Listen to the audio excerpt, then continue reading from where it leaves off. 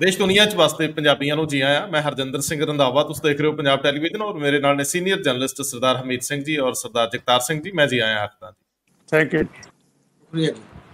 Captain ਮਾਰਕਾ ਰਾਜਨੀਤੀ ਦਾ ਅਹਿਮ ਨਾਂ ਭਰਤਿੰਦਰ ਸਿੰਘ ਚਾਲ ਮੁਸ਼ਕਲ 'ਚ ਹੈ।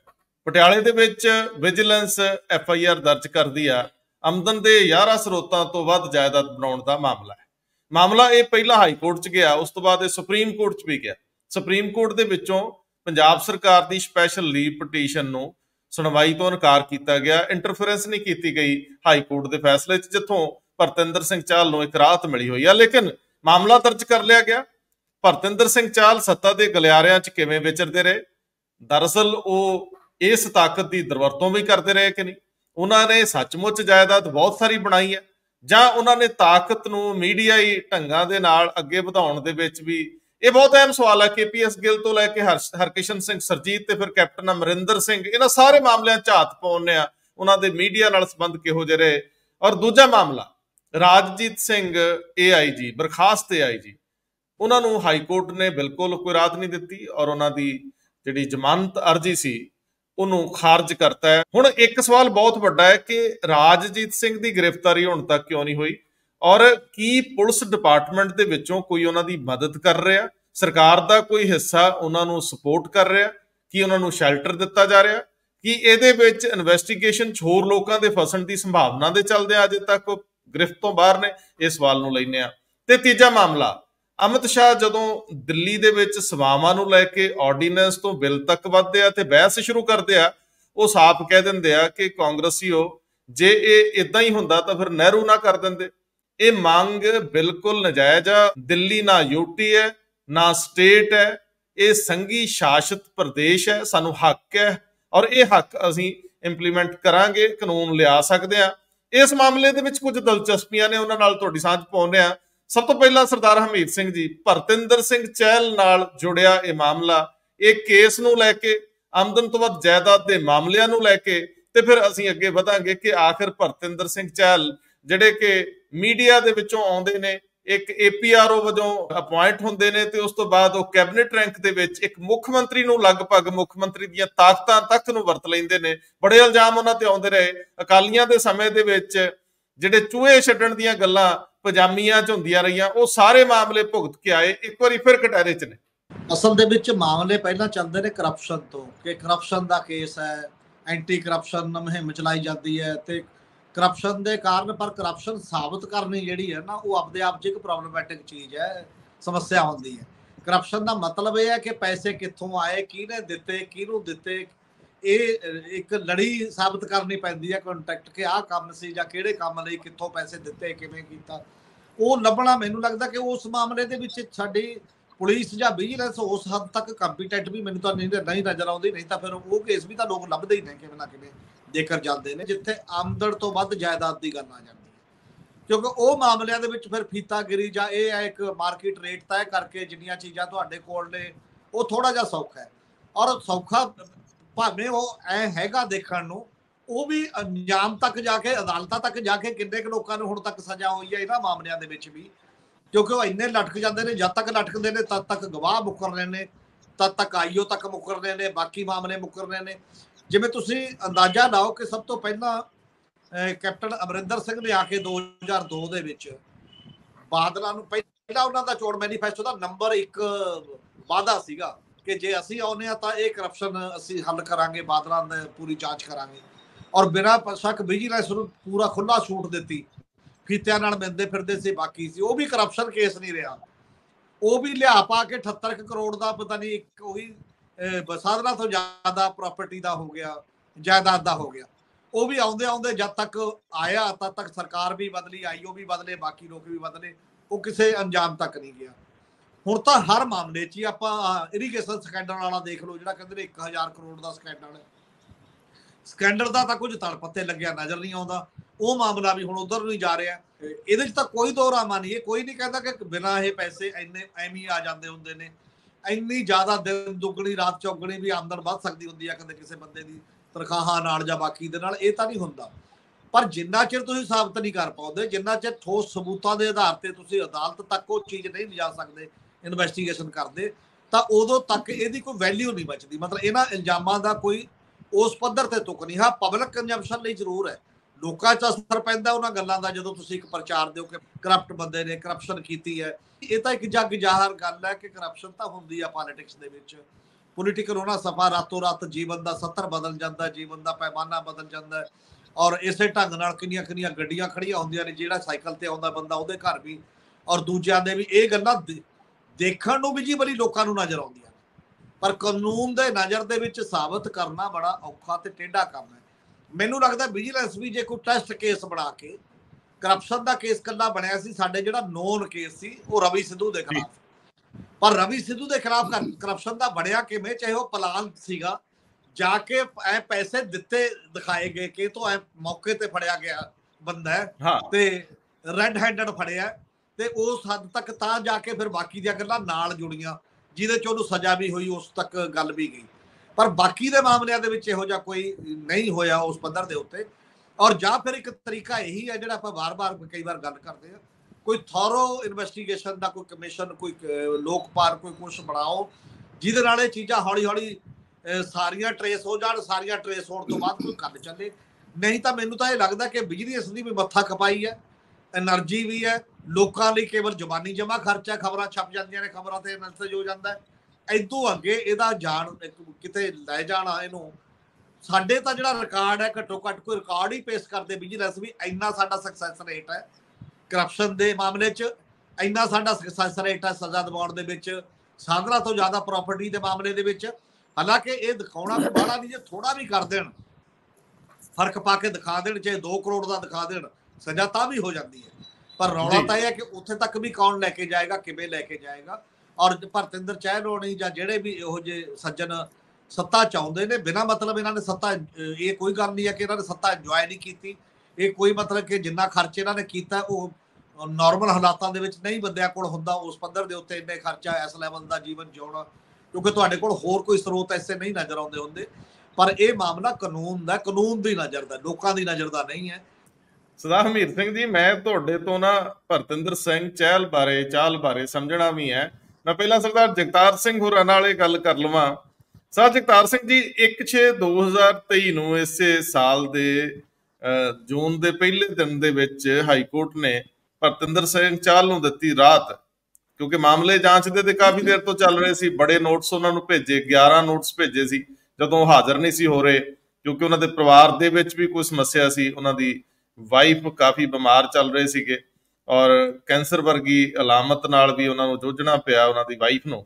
ਮੈਂ ਸਮਝਣਾ ਚਾਹ ਰਿਹਾ ਕਿਉਂਕਿ ਕੋਰਟ ਨੰਬਰ 12 ਚ item number 35 supreme court supreme court of India ਦੇ ਵਿੱਚ ਇਹ ਸੈਕਸ਼ਨ 2B ਦੇ ਤਹਿਤ ਮਾਮਲਾ ਆਇਆ, ਪੰਜਾਬ ਸਰਕਾਰ ਲੈ ਕੇ ਗਈ। ਇਹਦਾ ਮਤਲਬ ਲੜਾਈ ਕਾਫੀ ਪੁਰਾਣੀ ਚੱਲ ਰਹੀ।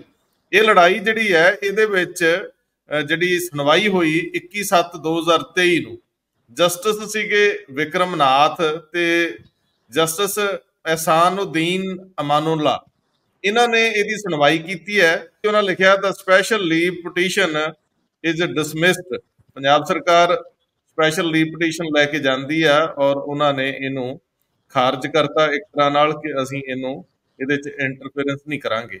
ਹੁਣ ਮਾਮਲਾ ਮੈਂ ਸਿਰਫ ਤੁਹਾਡੇ ਕੋਲ ਸਮਝਣਾ ਚਾਹੁੰਦਾ ਕਿਉਂਕਿ ਲੜਾਈ ਤਿੱਖੀ ਸੀ, ਭਰਤਿੰਦਰ ਸਿੰਘ ਚਹਿਲ ਸਾਰੀਆਂ ਜਿਹੜੀਆਂ ਉਹਨਾਂ ਨੂੰ ਹੱਕ ਹਕੂਕ ਮਿਲੇ ਆ, ਕਿਉਂਕਿ ਪੁਰਾਣੇ ਘਾਗ ਨੇ ਲੜਾਈ ਲੜੂਈ ਤਾਂ ਲੜਨੀ ਜਾਣਦੇ। ਮੈਂ ਸਮਝਣਾ ਚਾਹੁੰਦਾ ਭਰਤਿੰਦਰ ਸਿੰਘ ਚਹਿਲ ਨਾ ਇਲੈਕਸ਼ਨ ਲੜੇ, ਨਾ ਮੰਤਰੀ ਬਣੇ, ਕੈਬਨਿਟ ਰੈਂਕ ਉਹਨਾਂ ਕੋ ਸਦਾ ਰਿਹਾ ਪਾਵਰਫੁਲ ਪੂਰੇ ਰਹੇ। ਆਖਰ ਕੋਈ ਵਿਅਕਤੀ ਇਹਨਾਂ ਪਾਵਰਫੁਲ ਕਿਵੇਂ ਹੋ ਜਾਂਦਾ? ਦਰਅਸਲ ਭਰਤਿੰਦਰ ਸਿੰਘ ਚਹਿਲ ਦੀ ਸ਼ਖਸੀਅਤ ਹੈ ਕੀ? ਮਤਲਬ ਇਹ ਕੈਪਟਨ ਅਮਰਿੰਦਰ ਸਿੰਘ ਦੇ ਨਾਲ ਨਾਲ ਪਹਿਲੀ ਵਜ਼ਾਰਤ ਵਿੱਚ ਤੇ ਨਾ ਹੀ ਇਹੀ ਬੋਲਦਾ ਸੀਗਾ। ਦੂਜੀ ਵਜ਼ਾਰਤ ਦੇ ਵਿੱਚ ਉਹਨਾਂ ਨੇ ਕੋਈ ਪੋਰਟਫੋਲੀਓ ਨਹੀਂ ਲਿਆ, ਕੋਈ ਜ਼ਿੰਮੇਵਾਰੀ ਨਹੀਂ ਲਈ, ਲੇਕਿਨ ਕੈਬਨਿਟ ਰੈਂਕ ਉਹਨਾਂ ਨੂੰ ਦਿੱਤਾ ਹੋਇਆ ਸੀ। ਮੈਂ ਸਮਝਣਾ ਚਾਹੁੰਦਾ ਤੁਹਾਡਾ ਬਾਹਰ ਆ ਹੋਊਗਾ ਮੀਡੀਆ ਹਲਕਿਆਂ ਦੇ ਵਿੱਚ। ਨਹੀਂ, ਸਾਡਾ ਤਾਂ ਸ਼ੁਰੂ ਤੋਂ ਹੀ ਵਾਰ ਆ ਜਦੋਂ ਪੀਆਰਓ ਸੀਗੇ। ਦੇਖੋ, ਬੜਾ ਕਮਾਲ ਦਾ ਰਾਈਜ਼ ਹੈ ਕੈਰੀਅਰ ਦਾ ਭਰਤਿੰਦਰ ਸਿੰਘ ਚਾਹਲ ਦਾ। ਪੀਆਰਓ ਤੋਂ ਸ਼ੁਰੂ ਕਰਕੇ ਕੈਬਨਿਟ ਰੈਂਕ ਤੱਕ ਪਹੁੰਚਣਾ, ਇਹ ਕੋਈ ਸਧਾਰਨ ਜੀ ਗੱਲ ਨਹੀਂ ਹੈ। ਠੀਕ ਹੈ, ਹੁਣ ਇਸ ਵੇਲੇ ਵੀ ਇੱਕ ਮਿਨਿਸਟਰ ਹੈ ਜਿਹੜੇ ਈਟੀਓ ਹੁਣ ਵੀ ਜਿਨ੍ਹਾਂ ਦੇ ਨਾਂ ਦੇ ਨਾਲ ਲੱਗਦਾ ਤੇ ਕੋਈ ਥਾਣੇਦਾਰ ਵੀ ਸੀ ਪਹਿਲਾਂ। ਹਾਂਜੀ। ਸੋ ਉਹ ਗੱਲ ਵੱਖਰੀ ਹੈ ਲੇਕਿਨ ਇਹਨਾਂ ਦਾ ਕੈਰੀਅਰ ਲਗਾਤਾਰ ਸਪੈਕਟੈਕੂਲਰ ਹੈ। ਪੂਰਾ ਸ਼ਾਨੋ ਸ਼ੌਕਤ ਸਭ ਕੁਝ ਸ਼ੁਰੂ ਤੋਂ। ਹੂੰ। ਇੱਕ ਖਾਸੀਅਤ ਪ੍ਰਤਨ ਚਹਿਲ ਦੀ ਹੈਗੀ ਹੈ। ਉਹਨਾਂ ਨੇ ਕਦੇ ਨਾ ਨਹੀਂ ਕੀਤੀ ਕਿਸੇ ਕੰਮ ਨੂੰ। ਜੇ ਕਹੋ ਨਾ ਵੀ ਅਚੜੀ ਦਾ ਦੁੱਧ ਚਾਹੀਦਾ ਉਹਨੇ ਕਹਿਣਾ ਜੀ ਹਾਂ ਮੈਂ ਹਾਜ਼ਰ ਕਰ ਦੂੰਗਾ। ਇਹ ਉਹਨਾਂ ਲੋਕਾਂ ਦੇ ਵਿੱਚੋਂ ਹੈ। He was close to captain Amarinder Singh. ਬੜੇ ਪੁਰਾਣੇ ਚਿਰ ਤੋਂ ਪਟਿਆਲਾ ਕਨੈਕਸ਼ਨ ਵੀ ਹੈ ਪਟਿਆਲੇ ਤੋਂ ਹੈ ਸਾਰਾ। ਅਬ ਪਰ ਚਹਿਲ ਪਟਿਆਲੇ ਨੂੰ ਬਿਲੋਂਗ ਕਰਦੇ ਆ। ਸੋ ਉਹ ਇੱਕ ਪਰਸਨਲ ਜਿਹਾ ਰਿਲੇਸ਼ਨਸ਼ਿਪ ਇਹਨਾਂ ਦਾ ਸ਼ੁਰੂ ਤੋਂ ਬਣਿਆ ਜਿਹੜੀ ਕਿ ਮੈਂ ਗੱਲ ਕੀਤੀ ਕਿ ਇਹਨਾਂ ਨੇ ਕਦੇ ਨਾ ਨਹੀਂ ਕੀਤੀ। ਮੈਂ ਤੁਹਾਨੂੰ ਛੋਟੇ ਜਿਹੇ ਐਗਜ਼ਾਮਪਲ ਦੇ ਦੇਣਾ ਪਟਿਆਲੇ ਕੋਈ ਫੰਕਸ਼ਨ ਸੀਗਾ ਤੇ ਉਹ ਉਹਨਾਂ ਦੇ ਰਾਜ ਦੂਰਦਰਸ਼ਨ ਤੇ ਹੀ ਖਬਰਾਂ ਨਾਰਮਲੀ ਜਾਇਆ ਕਰਦੀਆਂ ਸੀਗੀਆਂ। ਉਹ ਕਹਿੰਦਾ ਵੀ ਰਾਤ ਨੂੰ 9 ਵਜੇ ਸ਼ਾਇਦ ਤੁਹਾਡਾ ਕੋਈ ਬੁਲੇਟਿਨ ਹੁੰਦਾ ਸੀਗਾ। ਕਹਿੰਦਾ ਵੀ ਉੱਥੇ ਖਬਰ ਲਾਉਣੀ ਹੈ। ਸ਼ਾਮ ਹੋ ਚੁੱਕੀ ਸੀ। ਉਹਨੇ ਹੈਲੀਕਾਪਟਰ ਅਰੇਂਜ ਕੀਤਾ ਤੇ ਉਹ ਕੈਸਟ ਭੇਜੀ ਤੇ ਖਬਰ ਚੱਲ ਗਈ ਰਾਤ। ਜੀ। ਇਹ ਪਰਚ ਇਹ ਪਰਚ ਚਹਿਲ ਹੀ ਕਰ ਸਕਦਾ ਸੀਗਾ। ਉਹਦੇ ਚ ਇਹ ਇਨੀਸ਼ੀਏਟਿਵ ਸੀ। ਉਹਨੇ ਇਹ ਨਹੀਂ ਦੇਖਣਾ ਵੀ ਖਰਚਾ ਕਿੱਥੋਂ ਆਏਗਾ। ਹੁਣ ਜਿਹੜੀ ਕਰਪਸ਼ਨ ਦੀ ਗੱਲ ਕਰ ਰਹੇ ਹਾਂ ਜੇ ਉਹ ਹੈਲੀਕਾਪਟਰ ਕਿਤੇ ਭੇਜ ਭੇਜਿਆ ਗਿਆ ਕਿਤੋਂ ਉਹਦਾ ਖਰਚਾ ਤੇ ਕਿਸੇ ਨੇ ਦਿੱਤਾ ਹੋਣਾ ਹੈ ਨਾ। ਹਾਂ। ਐਗਜ਼ਾਮਪਲ ਇਹਦੇ ਐਗਜ਼ਾਮਪਲ ਕੋਟ ਹੋਇਆ ਕਰਦੀ ਹੈ। ਸਾਡੀ ਪ੍ਰੈਕਟਿਸ ਪਤਾ ਕੀ ਹੁੰਦੀ ਸੀਗੀ ਜਰਨਲਿਸਟਾਂ ਦੀ? ਅਸੀਂ ਬਾਈ ਟ੍ਰੇਨ ਭੇਜਦੇ ਹੁੰਦੇ ਸੀਗੇ ਆਪਣੇ ਫੋਟੋਗ੍ਰਾਫਰ ਨੇ, ਜੇ ਮੈਂ ਕਿਤੇ ਬਾਹਰ ਅਸਾਈਨਮੈਂਟ ਤੇ ਗਿਆ ਤੇ ਆਪ ਅਜੇ ਵਾਪਸ ਨਹੀਂ ਆਉਣਾ ਤੇ ਥਰੂ ਕਿਸੇ ਬੱਸ ਤੇ ਜਾਂ ਟ੍ਰੇਨ ਤੇ ਜਾਂ ਇਵਨ ਜੇ ਉਥੇ 에어ਪੋਰਟ ਹੈ ਤਾਂ ਬਾਈ 에ਅਰ ਜੇ ਅਰੇਂਜਮੈਂਟ ਹੈਗਾ ਤੇ ਪਾਇਲਟ ਨੂੰ ਰਿਕੁਐਸਟ ਕਰਨੀ ਵੀ ਆ ਲੈ ਜਾਓ। ਇਸ ਕੇਸ ਦੇ ਵਿੱਚ ਕਹਿੰਦਾ ਖਬਰ ਤਾਂ ਜਾਣੀ ਹੈ ਰਾਤ ਨੂੰ ਤੇ ਕੀਤਾ ਉਹਨੇ। ਇਹ ਐਗਜ਼ਾਮਪਲ ਹੈ ਕੰਮ ਕਰਨ ਦੀ। ਉਹ ਇਹਦੇ ਬਾਰੇ ਨੋਨ ਹੈ। ਇਸ ਕਰਕੇ ਇਹ ਤਾਂ ਐਸਪੈਕਟ ਇੱਕ ਵੱਖਰਾ ਹੈ, ਉਹਨੇ ਪਰਸਨੈਲਿਟੀ ਦਾ। ਇਹ ਯਾਦ ਹੋਵੇ, ਕੇਪੀਐਸ ਗਿੱਲ ਜਦੋਂ ਇੱਕ ਕੰਪੇਨ ਪੰਜਾਬ ਦੇ ਵਿੱਚ ਚੱਲੀ ਸੀ, ਉਹਨਾਂ ਦੇ ਵੇਲੇ ਡੀਜੀਪੀ ਸੀਗੇ ਕਿ ਪੰਜਾਬ 'ਚ ਕਲਚਰ ਐਸਪੈਕਟ ਦੀ ਰਿਵਾਈਵਲ 1991 92 ਦੇ ਵਿੱਚ ਬਿਆਨ ਸਿੰਘ ਦੀ ਸਰਕਾਰ ਆਉਣ ਤੋਂ ਬਾਅਦ ਜਾਂ ਉਹਨਾਂ ਦਿਨਾਂ ਦੇ ਵਿੱਚ ਇੱਕ ਸਪੈਸ਼ਲ ਕੰਪੇਨ ਚਲਾਈ ਕਿ ਪੰਜਾਬ ਦਾ ਮਾਹੌਲ ਦੁਬਾਰਾ ਠੀਕ ਕਰੀਏ। ਤੇ ਉਹਦੇ ਚ ਇੱਕ ਜਿਹਨੂੰ ਕਲਚਰਲ ਰਿਵਾਈਵਲ ਕਿਹਾ ਗਿਆ ਜਿਹਦੇ ਬੜੇ ਸਿੰਗਰ ਭੰਗੜੇ ਵਾਲੇ ਆ ਪੰਮੀ ਬਾਈ ਮੇਰਾ ਖਿਆਲ ਉਹਦਾ ਇੰਚਾਰਜ ਸੀਗਾ ਇੱਕ ਸੈੱਲ ਬਣਾਇਆ ਗਿਆ। ਹੂੰ। ਉਹਦਾ ਇੰਚਾਰਜ ਵੀ ਭਰਤਿੰਦਰ ਚਹਿਲ ਹੁੰਦਾ ਸੀ। ਉਹ ਬੜਾ ਅਲਟੀਮੇਟਲੀ ਬਹੁਤ ਕੁਝ ਉਹਦੇ ਨਾਲ ਜੁੜ ਗਿਆ ਆ ਕੇ ਉਸ ਸੈੱਲ ਦੇ ਨਾਲ। ਕਿ ਜਿਹੜੀ ਕਲਚਰਲ ਡਿਸਟੋਰਸ਼ਨ ਆਈ ਪੰਜਾਬ ਦੇ ਪੰਜਾਬੀ ਗਾਣਿਆਂ ਦੇ ਵਿੱਚ ਉਹ- ਉਹਦਾ ਮੁੱਢ ਵੀ ਉੱਥੇ ਹੀ ਵੱਜਦਾ ਸੀਗਾ। ਸੋ ਬੜਾ ਕੁਝ ਹੈ ਚਲੋ ਉਹ ਤਾਂ ਗੱਲ ਵੱਖਰੀ ਹੈ ਮੈਂ ਤਾਂ ਪਰ ਚਹਿਲ ਹੋਰਾਂ ਦੀ ਗੱਲ ਕਰ ਰਿਹਾ ਕਿ ਇਹ ਉਥੋਂ ਲਾਈਵਲਾਈਟ ਚਾਉਣੇ ਸ਼ੁਰੂ ਹੋਏ ਤੇ ਉਦੋਂ ਇਹ ਵੀ ਕਿਹਾ ਜਾਂਦਾ ਸੀ ਕਿ ਐਸਐਸਪੀ ਵੀ ਪਰ ਚਹਿਲ ਹੀ ਲਵਾ ਸਕਦੇ। ਹੂੰ। ਸੋ ਇੰਨੀ ਪਾਵਰ ਤਾਂ ਉਸ ਵੇਲੇ ਆ ਗਈ ਸੀਗੀ। ਸੋ ਚਲਦੇ ਚਲਦੇ ਫਿਰ ਅਲਟੀਮੇਟਲੀ ਜਦੋਂ ਕੈਪਟਨ ਸਾਹਿਬ ਬਣੇ 2002 ਦੇ ਵਿੱਚ ਮੁੱਖ ਮੰਤਰੀ ਤੇ ਉਹਨਾਂ ਨੇ ਕੈਬਨਿਟ ਰੈਂਕ ਲੈ ਲਿਆ ਸੀਗਾ। ਰਿਜ਼ਾਈਨ ਕਰਕੇ ਉਦੋਂ ਹੀ ਰਿਜ਼ਾਈਨ ਕੀਤਾ ਸੀ। ਉਹ ਜੈਂਡ ਐਡੀਸ਼ਨ ਡਾਇਰੈਕਟਰ ਸੀ ਉਹ ਅੱਛਾ, ਵੈਸੇ ਅਲਟੀ ਅਲਟੀਮੇਟ ਪਾਵਰ ਵੀ ਬੰਦੇ ਨੂੰ ਫਿਰ ਆਪ ਮੁਹਾਰਾ ਵੀ ਕਰ ਦਿੰਦੀ ਹੈ। ਸਰਦਾਰ ਹਮੀਰ ਸਿੰਘ ਅਕਸਰ ਨਿੱਜੀ ਗੱਲਾਂ 'ਚ ਨਹੀਂ ਜਾਂਦੇ। ਅੱਜ ਅਸੀਂ ਇਹਨਾਂ ਨੂੰ ਕੁਰੇਦ ਕੇ ਵੇਖਦੇ ਆ ਭਰਤਿੰਦਰ ਚਾਲ ਬਾਰੇ ਮੰਨਿਆ ਜਾਂਦਾ ਕਿ ਉਹ ਪਿਆਰ ਕਰਦੇ ਸੀ, ਲਾਲਚ ਦਿੰਦੇ ਸੀ, ਪੱਤਰਕਾਰਾਂ ਨੂੰ ਸਹੂਲਤਾਂ ਵੀ ਦੇਣ ਦਾ ਯਤਨ ਕਰਦੇ ਸੀ ਤੇ ਪੰਜਾਬੀ 'ਚ ਹੱਥ ਫੇਰਨਾ ਕਹਿੰਦੇ ਆ। ਤੇ ਬਾਹ ਵੀ ਮਰੋੜਦੇ ਸੀ। ਸਰਦਾਰ ਹਮੀਰ ਸਿੰਘ ਜੀ, ਤੁਹਾਡਾ ਤਲਖੀ ਤਜਰਬਾ ਰਿਹਾ ਕਿਉਂਕਿ ਤੁਸੀਂ ਕਦੇ ਮੈਂ ਨਾ ਮਾਨੂ ਵਾਲੀ ਰੱਟ ਤੇ ਹੀ ਰਹੇ, ਆਪਣੇ ਅਸੂਲਾਂ ਤੇ ਖੜੇ ਰਹੇ। ਤੁਸੀਂ ਕਿਹੜਾ ਕਦੇ ਕਿਸੇ ਦੀ ਕੋਈ ਈਨ ਮੰਨੀ ਸੀਗੀ ਔਰ ਨਾ ਤੁਸੀਂ ਮਹਿਫਲਾਂ ਦਾ ਸ਼ਿੰਗਾਰ ਬਣਦੇ ਰਹੇ ਦਾਰੂ ਪੀਣੀ ਨਾ ਕੁਝ ਹੋਰ ਕਰਨਾ। ਕੋਈ ਤੁਹਾਡਾ ਤਲਖ ਤਜਰਬਾ, ਇਹ ਵੀ ਮੜ ਜੇ ਪੱਖ ਲਈਏ ਨਾ। ਅਸਲ 'ਚ ਇਹ ਸੀਗਾ ਕਿ ਜੇ ਭਰਤਿੰਦਰ ਚਹਿਲ ਉਹਨਾਂ ਦੇ ਜਿਹੜੇ ਪਰਸਨੈਲਿਟੀ ਆ, ਉਹ ਕਦੇ ਕ- ਕਾਨੂੰਨ ਕਿਤੇ ਨਿਯਮ, ਕਦੇ ਉਹਦੇ ਮੁਤਾਬਕ ਕੰਮ ਕਰਨਾ, ਮੈਨੂੰ ਲੱਗਦਾ ਇਹ 'ਚ ਯਕੀਨ ਮੈਨੂੰ ਨਹੀਂ ਲੱਗਿਆ ਕਦੇ ਕਿ ਇਹੋ ਜਿਹਾ ਕੋਈ ਯਕੀਨ ਹੁੰਦਾ। ਕੋਈ ਰੂਲ ਰੈਗੂਲੇਸ਼ਨ ਜਾਂ ਬਾਕੀ ਦਾ ਸਿਸਟਮ ਹੈ। ਉਹ ਕੇਪੀਐਸ ਗਿੱਲ ਤੋਂ ਲੈ ਕੇ ਅਮਰਿੰਦਰ ਸਿੰਘ ਤੋਂ ਲੈ ਕੇ ਉਸ ਤੋਂ ਬਾਅਦ ਲਗਾਤਾਰ ਜਿਹੜਾ ਮਾਮਲਾ ਔਰ ਇਸ ਸਮੇਂ ਚ ਆ ਕੇ ਪ੍ਰੈਸ ਵੀ ਕੰਪੈਰੀਟਿਵਲੀ ਜ਼ਿਆਦਾ ਕਰਪਟ ਹੋਈ ਹੈ ਉਸ ਟੈਨਿਓਰ ਜੇ ਵਿੱਚ ਆ ਕੇ ਮੇਰਾ ਖਿਆਲ ਹੈ ਕਿ ਜਿੱਡੇ ਵੱਡੇ ਗਿਫਟ ਜਿੰਨੇ ਮਹਿੰਗੇ ਗਿਫਟ ਤੇ ਬਾਕੀ ਚੀਜ਼ਾਂ ਉਦੋਂ ਸਟਾਰਟ ਹੋਈਆਂ ਨੇ 2002 ਚ ਜਦੋਂ ਮੀਡੀਆ ਐਡਵਾਈਜ਼ਰ ਬਣ ਕੇ ਤੇ ਭਰਤਿੰਦਰ ਚਹਿਲ ਉਹਨਾਂ ਦੇ ਥਰੂ ਗਈਆਂ ਨੇ ਐਡੀਟਰਾਂ ਤੇ ਚੰਗੇ ਰਿਪੋਰਟਰਾਂ ਦੇ ਸਾਰਿਆਂ ਦੇ ਘਰਾਂ 'ਚ ਜਿਸ ਲੈਵਲ ਦੀਆਂ ਲਿਸਟਾਂ ਬਣੀਆਂ, ਸ਼ਾਇਦ ਉੱਡੀ ਕਦੇ ਨਹੀਂ। ਭਰਤਿੰਦਰ ਚਹਿਲ ਦਾ ਇੱਕ ਹੋਰ ਗੱਲ ਹੈ ਦੂਜਿਆਂ ਦੇ ਮੁਕਾਬਲੇ। ਕਈ ਤਾਂ ਇਹੋ ਜਿਹਾ ਕੁਝ ਕਰਦੇ ਸੀ, ਦੱਸਦੇ ਨਹੀਂ। ਤੇ ਇਹ ਬੜਾ ਮਜਮਾ ਲਾ ਕੇ 20 ਪੱਤਰਕਾਰਾਂ ਦੀ ਹਾਜ਼ਰੀ 'ਚ ਉਹਨੂੰ ਕਿਸੇ ਨਾ ਕਿਸੇ ਢੰਗ ਨਾਲ ਦੱਸ ਵੀ ਦਿੰਦੇ ਕਿਹੜੇ ਬੰਦੇ ਨੂੰ ਕੀ ਕੀ ਹੋਇਆ। ਦਿੱਲੀ ਦੇ ਇੱਕ ਬਹੁਤ ਵੱਡੇ ਅਖਬਾਰ ਦੇ ਵੱਡੇ ਐਡੀਟਰ ਜਿਹਦਾ ਬਹੁਤ ਪਾਵਰਫੁਲ ਐਡੀਟਰ ਦੇ ਬਾਰੇ 'ਚ। ਮਤਲਬ ਉਹ ਮਜਮਾ 20 ਬੰਦੇ ਬੈਠੇ ਨੇ ਕਮਰੇ 'ਚ ਇਹ ਕਹਿੰਦੇ ਨੇ ਬੁਲਾ ਕੇ ਮਤਲਬ ਉਹੀ ਕਿਸੇ ਨੂੰ ਫੋਨ ਕਰਕੇ ਪਤਾ ਨਹੀਂ ਕਿਹਨੂੰ ਫੋਨ ਕੀਤਾ ਕਿ ਨਹੀਂ। ਉਹ ਨਹੀਂ ਉਹ ਐਡੀਟਰ ਫਲਾਨਾ ਨਾਮ ਲੈ ਕੇ ਕੁੱਤੇ ਨੇ ਕੱਟ ਲਿਆ ਸੀ ਉਹਦੇ ਘਰੇ ਚੰਗੇ ਟੀਕੇ ਲਵਾ ਕੇ ਆਉਣੇ ਨੇ ਕਿਤੇ ਇਧਰ ਉਧਰ ਦਾ ਕੰਮ ਨਾ ਕਰਿਓ ਰੈਗੂਲਰ ਪੂਰਾ ਟ੍ਰੀਟਮੈਂਟ ਕਰਾਉਣਾ ਹੈ ਬਾਕੀ ਦਾ ਚੀਜ਼ਾਂ। ਔਰ ਨਾਰਮਲ ਬੰਦੇ ਨੂੰ ਇਹ ਲੱਗਦਾ ਜਿਹੜੇ ਰਿਪੋਰਟਰ ਵਿਚਾਰੇ ਬੈਠੇ ਹੁੰਦੇ ਨੇ ਉੱਥੇ ਜਿਹੜੇ ਸ਼ਾਨ ਨਾਲ ਬੈਠੇ ਨੇ ਕਿ ਮੇਰਾ ਤਾਂ ਐਡੀਟਰ ਇਨ ਚੀਫ ਐਡੇ ਵੱਡੇ ਪੱਧਰ ਤੱਕ ਫਲਾਨੀ ਗੱਲ ਹੈ ਤੇ ਫਿਰ ਥੋੜਾ ਜਿਹਾ ਨਰਮ ਪੈਂਦਾ ਨਾ ਕਿਸੇ ਨਾ ਕਿਸੇ ਤਰੀਕੇ ਦੇ ਨਾਲ। ਇਹ ਉਹ ਜਿਹੜਾ ਇੱਕ ਸਿਸਟਮ ਹੈ ਔਰ ਇਸੇ ਢੰਗ ਨਾਲ ਇੱਕ ਗੱਲ ਹੋਈ ਕਿ ਸਾਡੇ ਦੇਖਦੇ ਕਿਸੇ ਪੱਤਰਕਾਰ ਨੇ ਥੋੜੀ ਜੀ ਗੱਲ ਕਿਤੇ ਕਰਤੀ ਕਿ ਇਹਦਾ ਬੱਚਾ ਕਿਤੇ ਪੜਦਾ ਸੀਗਾ ਵੀ ਚਲੋ ਉੱਥੋਂ ਉਹ ਜਾ ਨਹੀਂ ਸੀ ਸਕਦਾ ਉਹਦੀ ਵਾਈਫ ਨੇ ਲੈ ਕੇ ਆਉਣਾ ਸੀ ਕੇਵਲ ਇੰਨੀ ਇੱਕ ਗੱਲ ਸੀ। ਸਬੰਧਤ ਜ਼ਿਲ੍ਹੇ ਦੇ ਡੀਪੀਆਰ ਨੂੰ ਫੋਨ ਕਰਕੇ ਸਾਰਿਆਂ ਦੀ ਹਾਜ਼ਰੀ 'ਚ ਇਹ ਕਿਹਾ ਗਿਆ ਵੀ ਟੈਂਕੀ ਭਰਾ ਕੇ ਭੇਜਿਓ ਗੱਡੀ ਨਵੀਂ ਭੇਜਿਓ ਖਾਸ ਖਰਾਕ ਦਾ ਵੀ ਰਸਤੇ ਦਾ ਖਰਚਾ ਕੋਈ ਨਹੀਂ ਹੋਣ ਦੇਣਾ ਤੇ ਤੁਹਾਡੀ ਇਹ ਜ਼ਿੰਮੇਵਾਰੀ ਆ ਪੂਰੀ ਦੀ ਪੂਰੀ ਤੱਕ ਲੈ ਕੇ ਆਉਣਾ। ਉਹ ਬੰਦਾ ਵਿਚਾਰਾ ਚੰਗਾ ਪੱਤਰਕਾਰ ਸੀ ਮੂੰਹ ਲੁਕੋਵੇ ਵੀ ਮੈਂ ਤਾਂ ਕਹਿ ਕੇ ਫਸ ਗਿਆ ਯਾਰ ਇਹਨੂੰ ਤਾਂ ਚੰਗਾ ਸੀ। 5-4000 ਰੁਪਇਆ ਟੈਕਸੀ ਨੂੰ ਦੇ ਕੇ ਬੁਲਾ ਲੈਂਦੇ ਬੰਦਾ ਤਾਂ ਕੋਈ ਫ਼ਰਕ ਨਹੀਂ ਸੀ ਪੈਣਾ। ਮਤਲਬ ਇਹ ਇੱਕ ਹਰ ਬੰਦੇ ਦਾ ਨਾ ਇੱਕ ਤਰੀਕਾ ਹੁੰਦਾ ਹੈ। ਇਹ ਕੇਵਲ ਕਰਪਟ ਕਰਨਾ ਨਹੀਂ ਹੈ, ਮਤਲਬ ਹਾਲਾਂਕਿ ਇਹ ਐਡੀ ਵੱਡੀ ਕਰਪਸ਼ਨ ਵੀ ਨਹੀਂ ਹੈ, ਜਿਹਨੂੰ ਕਹੋ ਕਿਸੇ ਨੇ ਇੱਕ ਗੱਡੀ ਮੰਗ ਲਈ ਹੋਏਗੀ, ਉਹ ਕਰਪਸ਼ਨ ਵਾਲੀ ਗੱਲ ਨਹੀਂ। ਪਰ ਉਹਨੂੰ ਮੌਕੇ ਤੇ ਇਹ ਦੱਸਣਾ ਕਿ ਮੈਂ ਇਹਦਾ ਕਰ ਰਿਹਾ ਜਾਂ ਇਹ ਮੇਰੇ ਤੱਕ ਅਪਰੋਚ ਕਰ ਰਿਹਾ ਜਾਂ ਬਾਕੀ ਦੀਆਂ ਚੀਜ਼ਾਂ ਨੇ, ਇਹ ਬੜਾ ਹੀ ਕਹਿ ਕੇ ਮਤਲਬ ਉਸ ਲੈਵਲ ਦੀਆਂ ਚੀਜ਼ਾਂ ਚੱਲ ਰਹੀਆਂ ਨੇ ਜਿਹੜੀਆਂ ਵੱਖ-ਵੱਖ ਕਿਸਮ ਦੀਆਂ ਤਾਂ। ਔਰ ਇਸੇ ਤਰੀਕੇ ਦੀਆਂ ਗੱਲਾਂ ਜਿਹੜੀਆਂ ਮੈਨੂੰ ਮੈਨੂੰ ਇਹ ਨਹੀਂ ਲੱਗਿਆ ਕਿ ਇਹਨੇ ਕ- ਇਹਨਾਂ ਲਾਲਚ ਦਿੱਤੇ ਪਰ ਥ੍ਰੈਟ ਨਹੀਂ ਮੇਰੇ ਨੋਟਿਸ ਚ ਕਦੇ ਆਇਆ ਕਿਸੇ ਨੂੰ ਥ੍ਰੈਟ ਦਿੱਤਾ ਹੋਵੇ ਹਾਂ। ਤੈਨੂੰ ਐ ਕਰ ਦੂੰਗਾ ਜਾਂ ਐ ਕਰ ਦੂੰਗਾ ਮੇਰੇ ਨੋਟਿਸ 'ਚ ਤਾਂ ਘੱਟੋ ਘੱਟ ਨਹੀਂ ਹੈ। ਲਾਲਚ ਮੇਰੇ ਨੋਟਿਸ 'ਚ ਹੈਗੇ ਨੇ ਜਿਹੜੇ ਬਾਕੀ ਬੰਦਿਆਂ ਨੂੰ ਦਿੱਤੇ ਵੱਖ-ਵੱਖ ਤਰ੍ਹਾਂ ਦੇ ਵੱਖ-ਵੱਖ ਨਹੀਂ ਹੈ। ਔਰ ਕਈ ਕਾਫੀ ਸੱਜਣ ਪੱਤਰਕਾਰ ਇਹੋ ਜਿਹੇ ਨੇ ਜਿਹੜੇ ਬਹੁਤ ਦੋਸਤਾਨਾ ਤਰੀਕੇ ਦੇ ਨਾਲ ਇਹਨਾਂ ਨਾਲ ਵਿਚਰਦੇ ਰਹੇ ਭਰਾਵਾ ਵਾਂਗ ਜੀ ਉਵੇਂ ਸ਼ਰਾਬਾਂ ਉਵੇਂ ਸਾਰਾ ਕੁਝ ਜਿਹੜਾ ਸਿਸਟਮ ਕਰਨਾ ਹੁੰਦਾ। ਔਰ ਇਹ ਦੂਜੇ ਵੀ ਮੀਡੀਆ ਐਡਵਾਈਜ਼ਰ ਰਹੇ ਵੱਖ-ਵੱਖ ਸਰਕਾਰਾਂ 'ਚ। ਪਰ ਖਬਰ ਰਕਵਾਉਣ ਦੀ ਕਪੈਸਿਟੀ ਦੀ ਦਾਅਵੇਦਾਰ ਜਿਹੜਾ ਸੀ ਕਿ ਉਹ ਕਹਿੰਦਾ ਸੀ, ਇੱਕੋ ਇਹ ਮਤਲਬ ਭਾਰਤ ਅੰਦਰ ਚਾਹ ਹੈ ਜੀ, ਅਖਬਾਰ 'ਚ ਖਬਰ ਰਖਵਾ ਦਿੰਦਾ ਜੀ, ਬਾਕੀ ਜਗ੍ਹਾ ਜਾਂਦਾ ਜੀ।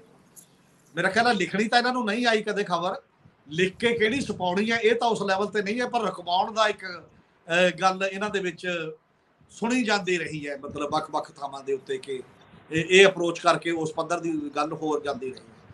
ਔਰ ਇਦੋਂ ਵੀ ਜ਼ਿਆਦਾ, ਪਰ ਜਿਹੜਾ ਇਹ ਕਰਪਸ਼ਨ ਦੇ ਕੇਸ ਦੇ ਮਾਮਲੇ ਨੇ ਤੁਸੀਂ ਦੇਖੋ ਕਿ ਅਕਾਲੀ ਦਲ ਨੇ ਵੀ ਖੋਲੇ ਸੀ ਉਦੋਂ ਵੀ ਇਹ ਕਾਫੀ ਦੇਰ ਜੇਲ੍ਹ 'ਚ ਵੀ ਰਹੇ ਔਰ ਸਾਰਾ। ਪੁਲਿਸ ਨੇ ਖੰਗਾਲਿਆ ਔਰ ਉਦੋਂ ਫਿਜ਼ੀਕਲ ਟਾਰਚਰ ਵੀ ਹੋਇਆ ਸਾਰਾ ਕੁਝ।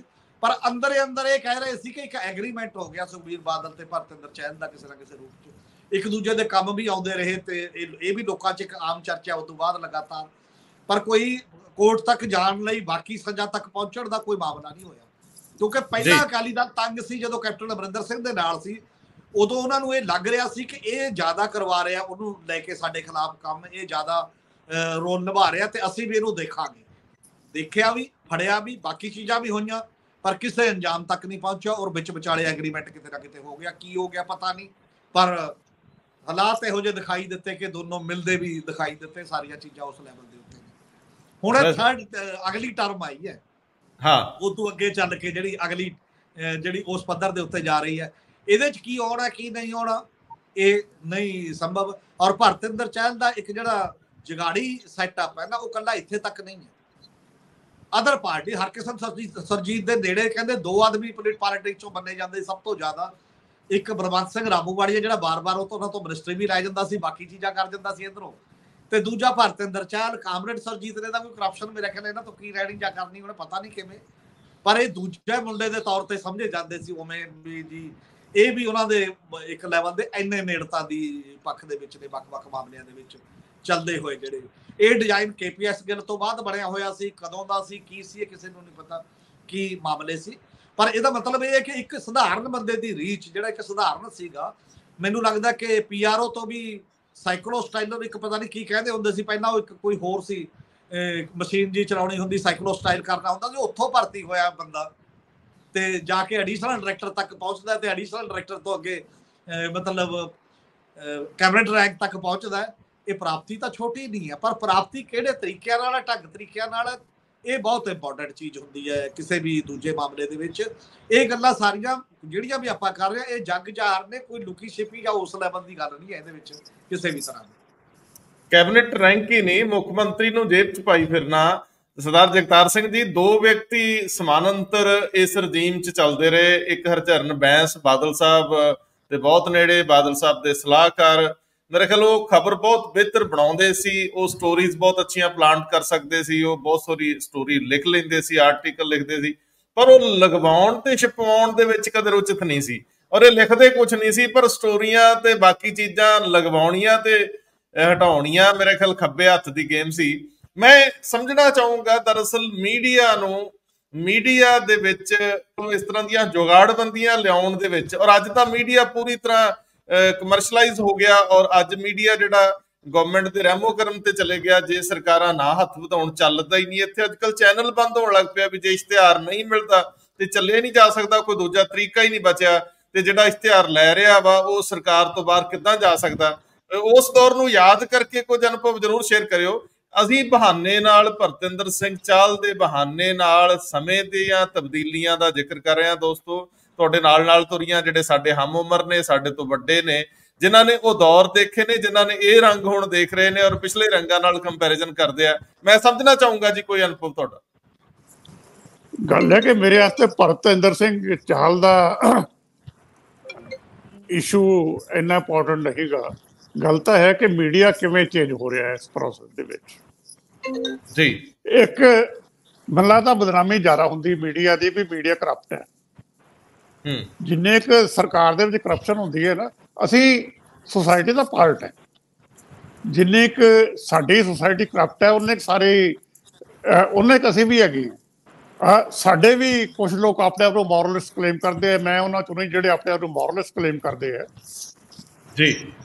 ਲਾਈਫ ਹੈ ਲਾਈਫ ਦੇ ਵਿੱਚ ਤੁਸੀਂ ਸ਼ਾਮ ਨੂੰ ਕਿਤੇ ਬੈਠੇ ਵੀ ਹੈ। ਹੂੰ। ਸ਼ੇਅਰ ਵੀ ਕਰ ਰਹੇ ਹੈ ਸਾਰਾ ਕੁਝ ਹੁੰਦਾ ਇੱਕ ਸਿਸਟਮ ਹੈ। ਜਿਹੜਾ ਜਰਨਲਿਜ਼ਮ ਪ੍ਰੋਫੈਸ਼ਨ ਹੈ ਇਹ ਪਰਸਨਲ ਕੰਟੈਕਟ ਹੁੰਦਾ ਤੇ ਪਰਸਨਲ ਕੰਟੈਕਟ ਬਣਾਉਣ ਦੇ ਵਿੱਚ 6 ਮਹੀਨੇ ਘੱਟੋ ਘੱਟ ਤੁਹਾਡੀ ਇਨਵੈਸਟਮੈਂਟ ਚਾਹੀਦੀ ਟਾਈਮ ਦੀ।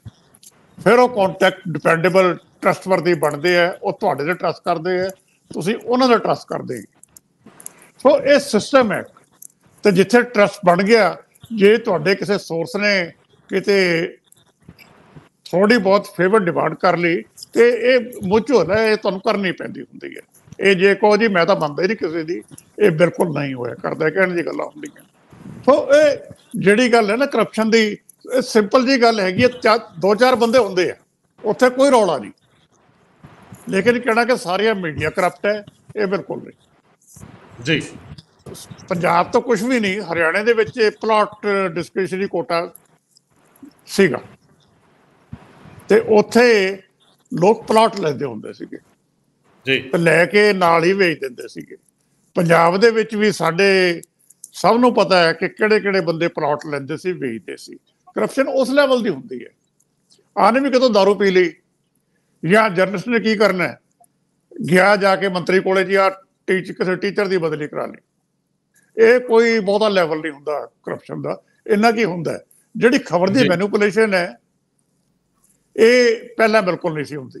ਕਿਤੇ ਰੇਅਰ ਕਿਤੇ ਲੈਵਲ ਤੇ ਕਿਤੇ ਗੱਲ ਹੋ ਗਈ ਮੈਨੂੰ ਬਲੂ ਸਟਾਰ ਦਾ ਪੀਰੀਅਡ ਵੀ ਯਾਦ ਹੈ।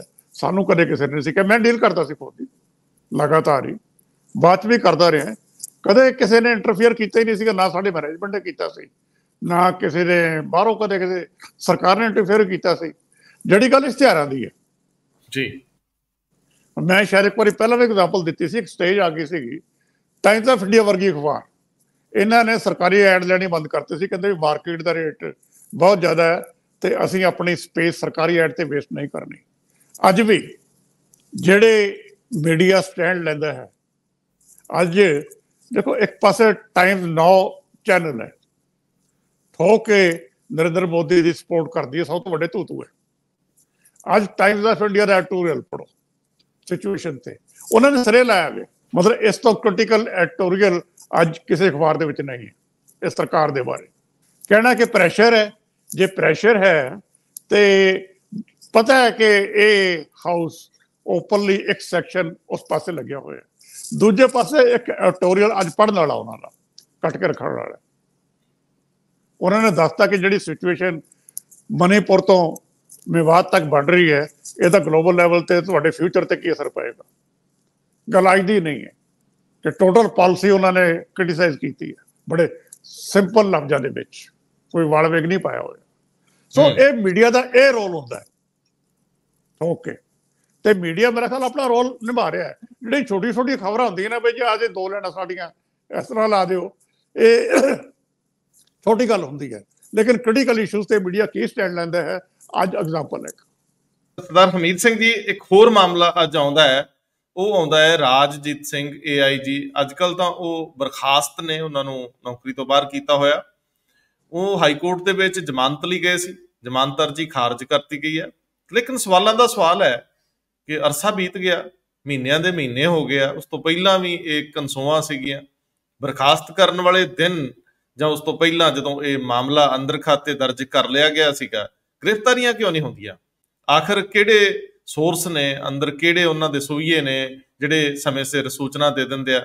ਪਿੱਛੇ ਕਰਪਸ਼ਨ ਦੇ ਕਈ ਮਾਮਲੇ ਆਏ, ਜਿਨ੍ਹਾਂ ਦੇ ਵਿੱਚ ਕੁਝ ਸੀਨੀਅਰ ਆਈਐਸ ਜਾਂ ਉਹਨਾਂ ਦੇ ਪਰਿਵਾਰਾਂ ਦੇ ਜੀ ਸ਼ਾਮਲ ਸੀ। ਤੇ ਉਹ, ਉਹਨਾਂ ਨੂੰ ਵੀ ਕਿਤੇ ਗ੍ਰਿਫਤਾਰੀ ਦਾ ਸਾਹਮਣਾ ਨਹੀਂ ਕਰਨਾ ਪਿਆ। ਬਚ ਕੇ ਨਿਕਲ ਜਾਂਦੇ ਲੋਕ। ਆਮ ਵਿਅਕਤੀ, ਜਿਹੜੇ ਵਿਅਕਤੀ ਜੇਲ੍ਹਾਂ ਦੇ ਵਿੱਚ ਲਗਭਗ 2-2 3-3 ਮਹੀਨੇ ਬਾਅਦ ਜ਼ਮਾਨਤਾਂ ਉਹਨਾਂ ਨੂੰ ਮਿਲ ਰਹੀਆਂ ਨੇ, ਉਹਨਾਂ ਤੇ ਇਹਨਾਂ ਵਿੱਚ ਫ਼ਰਕ ਇਹੀ ਹੈ ਅਲੀਟ ਕਲਾਸ ਹੈ। ਇਹਨਾਂ ਦਾ ਵਾਲ ਵੀ ਵਿੰਗਾ ਨਹੀਂ। ਕੀ ਕਹੋਗੇ? ਰਾਜਜੀਤ ਇੱਕ ਇਸ ਲੈਵਲ ਦੇ ਸ਼ਖਸ ਦੇ ਤੌਰ ਤੇ ਡਿਵੈਲਪ ਹੋ ਰਿਹਾ, ਮੈਨੂੰ ਤਾਂ ਲੱਗਦਾ ਹੈ ਕਿ ਓਵਰਆਲ ਜਿਹੜੇ ਡਰੱਗ ਦਾ ਸਿਸਟਮ ਚੱਲ ਰਿਹਾ ਹੈ ਔਰ ਉਹਦੇ ਨਾਮ ਬੜੇ ਪੁਰਾਣਾ ਸਮੇਂ ਤੋਂ, ਮਤਲਬ 5 ਸਾਲ ਤੋਂ ਤਾਂ ਜ਼ਿਆਦਾ ਹੋ ਗਈ 5.5 6 ਸਾਲ ਹੋ ਗਏ ਲਗਭਗ। ਲਗਾਤਾਰ ਨਾਮ ਆਉਂਦੇ ਨੂੰ ਕਿਸੇ ਨਾ ਕਿਸੇ ਰੂਪ ਦੇ ਵਿੱਚ। ਔਰ ਉਹਦੀ ਪਾਵਰ ਦਾ ਇਹ ਅੰਦਾਜ਼ਾ ਤੁਸੀਂ ਲਾ ਸਕਦੇ ਹੋ, ਉਸ ਮਿਲ ਕੇ ਕਿ ਪਹਿਲਾਂ ਜਦੋਂ ਉਹਨਾਂ ਦਾ ਨਾਮ ਆਇਆ, ਤਾਂ ਡੀਜੀਪੀ ਲੈਵਲ ਤੇ ਉਸ ਜ਼ਮਾਨੇ ਦੇ ਬੰਦੇ ਉਹਦੇ ਨਾਲ ਖੜੇ। ਵੱਡੇ ਅਫਸਰ ਉਹਦੇ ਨਾਲ ਖੜੇ ਉਸ ਸਮੇਂ। ਔਰ ਹਾਈ ਕੋਰਟ ਦੇ ਵਿੱਚ ਜਾ ਕੇ ਉਹਨੇ ਰਿਟ ਕੀਤੀ, ਪਟੀਸ਼ਨ ਪਾਈ। 5 ਸਾਲ ਤੱਕ ਹਾਈ ਕੋਰਟ ਦਾ ਬਖੇ ਰੱਖਦੀ ਆ ਉਹ ਸਾਰੀ ਜਾਂਚ ਨੂੰ, ਜਿਹੜੀ ਹਰਪ੍ਰੀਤ ਸਿੱਧੂ ਦੀ ਕਮੇਟੀ ਦੀ ਸੀ। ਬਾਕੀ ਦੇ ਮਾਮਲੇ 'ਚ ਇੱਕ ਨਵੀਂ ਜਾਂਚ ਸ਼ੁਰੂ ਕਰਵਾ ਦਿੱਤੀ ਗਈ ਉੱਥੋਂ। ਉਹ ਨਵੀਂ ਵਾਲੀ ਰਿਪੋਰਟ ਵੀ ਉਹਦੇ ਸਾਹਮਣੇ ਦਿਖਾਈ ਦਿੱਤੀ। ਔਰ ਉਹਦੇ 'ਚ ਵੀ ਫਿਰ ਇਹ ਹੋ ਗਿਆ ਕਿ ਜੀ ਇਹਨੂੰ ਖੋਲੋ, ਘੱਟੋ ਘੱਟ ਹਾਈ ਕੋਰਟ 5 ਸਾਲ ਕਿਉਂ ਦੱਬ ਕੇ ਰੱਖਦੀ ਹੈ ਜੀ? ਉਹ ਕਿਉਂ ਨਹੀਂ ਵਾਪਸ ਲੋਕਾਂ ਦੇ ਸਾਹਮਣੇ ਲਿਆਉਂਦੀ? ਉਹ ਜਿਹੜਾ ਤੇ ਇਹ ਡਿਮਾਂਡ ਵੀ ਉੱਠੀ। ਔਰ ਜਦੋਂ ਡਿਮਾਂਡ ਉੱਠਣੀ ਸ਼ੁਰੂ ਹੋ ਗਈ ਇਹ, ਤੇ ਜਿਨ੍ਹਾਂ ਨੇ ਡਿਮਾਂਡ ਉਠਾਈ DSP ex DSP Balwinder Sekhon, ਉਹਦੀਆਂ ਤਰੀਕਾਕਾਰ ਗਲਤ ਜਾਂ ਉਹਦੀ ਸ਼ਬਦਾਵਲੀ ਇਹੋ ਜੀ ਸੀ, ਉਹ ਆਪ ਤਾਂ ਅੰਦਰ ਹੈ ਮਾਨ ਕੋਰਟ ਦੀ ਅਵਗਿਆ ਦੇ ਤੌਰ ਤੇ। ਪਰ ਘੱਟੋ ਘੱਟ ਉਹ ਚੀਜ਼ਾਂ ਤਾਂ ਖੁੱਲ ਗਈਆਂ ਬਾਹਰ, ਰਿਪੋਰਟਾਂ ਖੁੱਲ ਗਈਆਂ ਜ਼ਰੂਰ ਸਰਕਾਰ ਦੇ ਕੋਲ ਆ ਕੇ। ਔਰ ਸਰਕਾਰ ਦੇ ਕੋਲ ਆ ਕੇ ਰਿਪੋਰਟਾਂ ਖੁੱਲੀਆਂ ਉਹਦੇ ਚ ਇੱਕੋ ਇੱਕ ਨਾਮ ਜਿਹੜਾ ਸਭ ਤੋਂ ਜ਼ਿਆਦਾ ਇੰਪੋਰਟੈਂਟ ਆਇਆ, ਉਹ ਰਾਜਜੀਤ ਦਾ ਆਇਆ। ਤੇ ਰਾਜ ਉਹਦਾ ਰਿਪੋਰਟਾਂ ਖੁੱਲੀਆਂ ਨੂੰ ਵੀ ਇੰਨੇ ਮਹੀਨਿਆਂ ਬਾਅਦ ਇੱਕ ਬੰਦਾ ਤੁਹਾਨੂੰ ਅਰੈਸਟ ਕਰਨ ਲਈ ਨਹੀਂ ਚਾਹੀਦਾ ਕਿ ਜਿਹਨੂੰ ਅਰੈਸਟ ਕਰਕੇ ਤੁਸੀਂ ਬਾਕੀ ਬੰਦਿਆਂ ਦਾ ਨਾਮ ਪੁੱਛਣਾ ਹੋਵੇ। ਬਾਕੀ ਗੱਠਜੋੜ ਕੌਣ ਸੀ? ਉਹਦੇ ਤੇ ਪੋਲੀਟੀਕਲ ਥਾਪੜਾ ਕਿਹਦਾ ਹੈ? ਉਹਦੇ ਤੇ ਹੋਰ ਸੀਨੀਅਰ ਪੁਲਿਸ ਅਫਸਰ ਕਿਹਦੇ ਨੇ? ਬਾਕੀ ਦੇ ਕੌਣ ਨੇ? ਇਹਦਾ ਮਤਲਬ ਭਗਵੰਤ ਮਾਨ ਸਰਕਾਰ ਨੂੰ ਨਹੀਂ ਚਾਹੀਦਾ ਫਿਰ ਇਹ ਗੱਲ ਅੱਗੇ ਟ੍ਰੇਸ ਵਧਾਉਣਾ, ਤਾਂ ਹੀ ਜਾਣਾ ਜੇ ਨਹੀਂ ਚਾਹੀਦਾ, ਤਾਂ ਤੁਸੀਂ ਇੰਨੇ ਮੌਕੇ ਦਿੰਦੇ ਹੋ ਜਿੱਥੇ ਮਰਜ਼ੀ ਚਲੇ ਜਾਓ, ਕੋਈ ਗੱਲ ਨਹੀਂ। ਪਹਿਲਾਂ ਹੇਠਲੀ ਅਦਾਲਤ ਨੇ ਰੱਦ ਕਰਤੀ, ਫਿਰ ਹੁਣ ਹਾਈ ਕੋਰਟ ਨੇ ਵੀ ਰੱਦ ਕਰਤੀ, ਫਿਰ ਦੇਖ ਲਓ ਕੋਈ ਗੱਲ ਨਹੀਂ, ਸੁਪਰੀਮ ਕੋਰਟ ਵੀ ਰੱਦ ਕਰ ਦੂਗੀ ਜਦੋਂ ਤੱਕ, ਫਿਰ ਫਿਰ ਕਿੰਨਾ ਟਾਈਮ ਦਿਓਗੇ? ਮਤਲਬ ਸਾਲਾਂ ਲਗਾ ਕੇ ਜਦ ਤੱਕ ਉਹਦਾ ਬਣਦਾ ਕੀ ਆ ਕਿੰਨੇ ਬੰਦੇ ਬਚਦੇ ਰਹਿਣਗੇ ਉਦੋਂ ਤੱਕ ਦੇ? ਕਿੰਨੇ ਬੰਦੇ ਨਸ਼ੇ 'ਚ ਹੋਰ ਜ਼ਿਆਦਾ ਗਲਤਾਨ ਹੋ ਜਾਣਗੇ ਉਦੋਂ ਤੱਕ? ਕਿੰਨਾ ਗੱਠਜੋੜ ਜਿਹੜਾ ਹੈ ਉਹ ਬੰਦੇ ਆਪਦੇ ਆਪ ਨੂੰ ਰੀਐਡਜਸਟ ਕਿਤੇ ਹੋਰ ਕਰ ਲੈਣਗੇ, ਇੱਥੋਂ ਇੱਧਰ ਉੱਧਰ ਜਾ ਕੇ। ਇਹ ਸਾਰਾ ਜਿਹੜਾ ਟਾਈਮ ਦਿੱਤਾ ਜਾ ਰਿਹਾ ਤੇ ਇਹਦੇ ਤੇ ਗਵਰਨਮੈਂਟ ਨੂੰ ਔਰ ਜਾਂ ਪੁਲਿਸ ਦੇ ਸੀਨੀਅਰ ਅਫਸਰ ਨੂੰ ਜਾਂ ਡੀਜੀਪੀ ਨੂੰ ਜਾਂ ਚੀਫ ਮਿਨਿਸਟਰ ਨੂੰ। ਇਹ ਪਬਲਿਕ ਨੂੰ ਦੱਸਣਾ ਤਾਂ ਚਾਹੀਦਾ, ਬਾਕੀ ਦਾ ਕੋਈ ਪੀਣ ਵਾਲਾ ਵਿਚਾਰਾ ਮਾੜਾ ਜਿਹਾ ਟੱਕਰ ਜੇ ਮਤਲਬ 50 ਗ੍ਰਾਮ ਵਾਲਾ ਕੋਈ ਬੰਦਾ ਤੁਹਾਨੂੰ ਕੋਈ 1 ਗ੍ਰਾਮ ਵਾਲਾ ਟੱਕਰ ਜੇ ਉੱਥੇ ਤਾਂ ਫੜ ਕੇ ਪਰਚੇ ਦਰਜ 19000 ਦਰਜ ਕਰ ਦਿੰਦੇ ਹੋ ਤੁਸੀਂ ਤੇ ਉਸ ਤੋਂ ਬਾਅਦ ਫੜ ਕੇ ਵੀ ਉਹਨੂੰ ਥਾਣੇ ਦੇ ਅੰਦਰ ਚਾਉਂਦਾ ਜਦੋਂ ਮਰਜ਼ੀ ਚਲੇ ਜਾਓ। ਆਹੀ ਮਾਨਸਾ ਵਾਲਾ ਜਿਹੜਾ ਬੰਦਾ ਜਦੋਂ ਲੋਕ ਇਹ ਕਹਿ ਰਹੇ ਨੇ ਕਿ ਨਸ਼ਾ ਛਡਾ ਰਿਹਾ ਹੈ, ਪਰਮਿੰਦਰ ਝੋਟਾ, ਤੁਸੀਂ ਉਹਨੂੰ ਨਹੀਂ ਛੱਡ ਰਹੇ, ਚੱਕ ਕੇ ਜਦ ਮਰਜ਼ੀ ਅੰਦਰ ਬੰਦ ਕਰਤਾ, ਪਹਿਲਾਂ ਤੁਹਾਡੇ ਕੋਲ ਕੋਈ ਪਰਚਾ ਵੀ ਨਹੀਂ ਹੈ ਉਹਦੇ ਖਿਲਾਫ, ਜਿੱਥੇ ਲੋਕ ਗਵਾਹੀਆਂ ਦੇ ਰਹੇ ਨੇ, ਲਗਾਤਾਰ ਇੱਕ ਮੂਵਮੈਂਟ ਬਣ ਰਹੀ ਹੈ। 14 ਅਗਸਤ ਨੂੰ ਉਹਨਾਂ ਨੇ ਇੱਕ ਵੱਡਾ ਹੋਰ ਇਕੱਠ ਰੱਖਿਆ ਹੋਇਆ, ਉਦੋਂ ਬਾਅਦ ਵੀ ਕੰਟੀਨਿਊ ਧਰਨਾ ਜਾਰੀ ਹੈ ਹਜੇ ਉੱਥੇ ਮਾਨਸਾ ਦੇ ਵਿੱਚ। ਇਹਦਾ ਮਤਲਬ ਇਹ ਹੈ ਕਿ ਜਿਹਨੂੰ ਲੋਕ ਸਮਝਦੇ ਨੇ ਕਿ ਇਹ ਬੰਦਾ ਲੋਕਾਂ ਲੋਕਾਂ ਦੀ ਆਵਾਜ਼ ਐਵੇਂ ਨਹੀਂ ਹੁੰਦੀ। ਔਰ ਉਹ, ਉਹਨਾਂ ਨੂੰ ਗਰਾਊਂਡ ਤੇ ਪਤਾ ਹੁੰਦਾ ਕਿ ਗੱਲ ਕੀ ਹੈ ਕੌਣ ਕੀ ਕਰ ਰਿਹਾ, ਕੌਣ ਕੀ ਨਹੀਂ ਕਰ ਰਿਹਾ ਉਸ ਪੱਧਰ ਦੇ ਉੱਤੇ। ਇਹਦਾ ਮਤਲਬ ਲੋਕਾਂ ਦੀ ਆਵਾਜ਼ ਦੀ ਕੋਈ ਕਦਰ ਨਹੀਂ, ਜਿਹੜਾ ਪਾਵਰ ਸੈਂਟਰ ਦੇ ਵਿੱਚ ਪਾਵਰ ਦੀ ਜਿਹੜੀ ਅਪਰੋਚ ਹੈ, ਉਹ ਤੁਹਾਡੇ ਤੇ ਅਸਰ ਕਰ ਰਹੀ ਹੈ।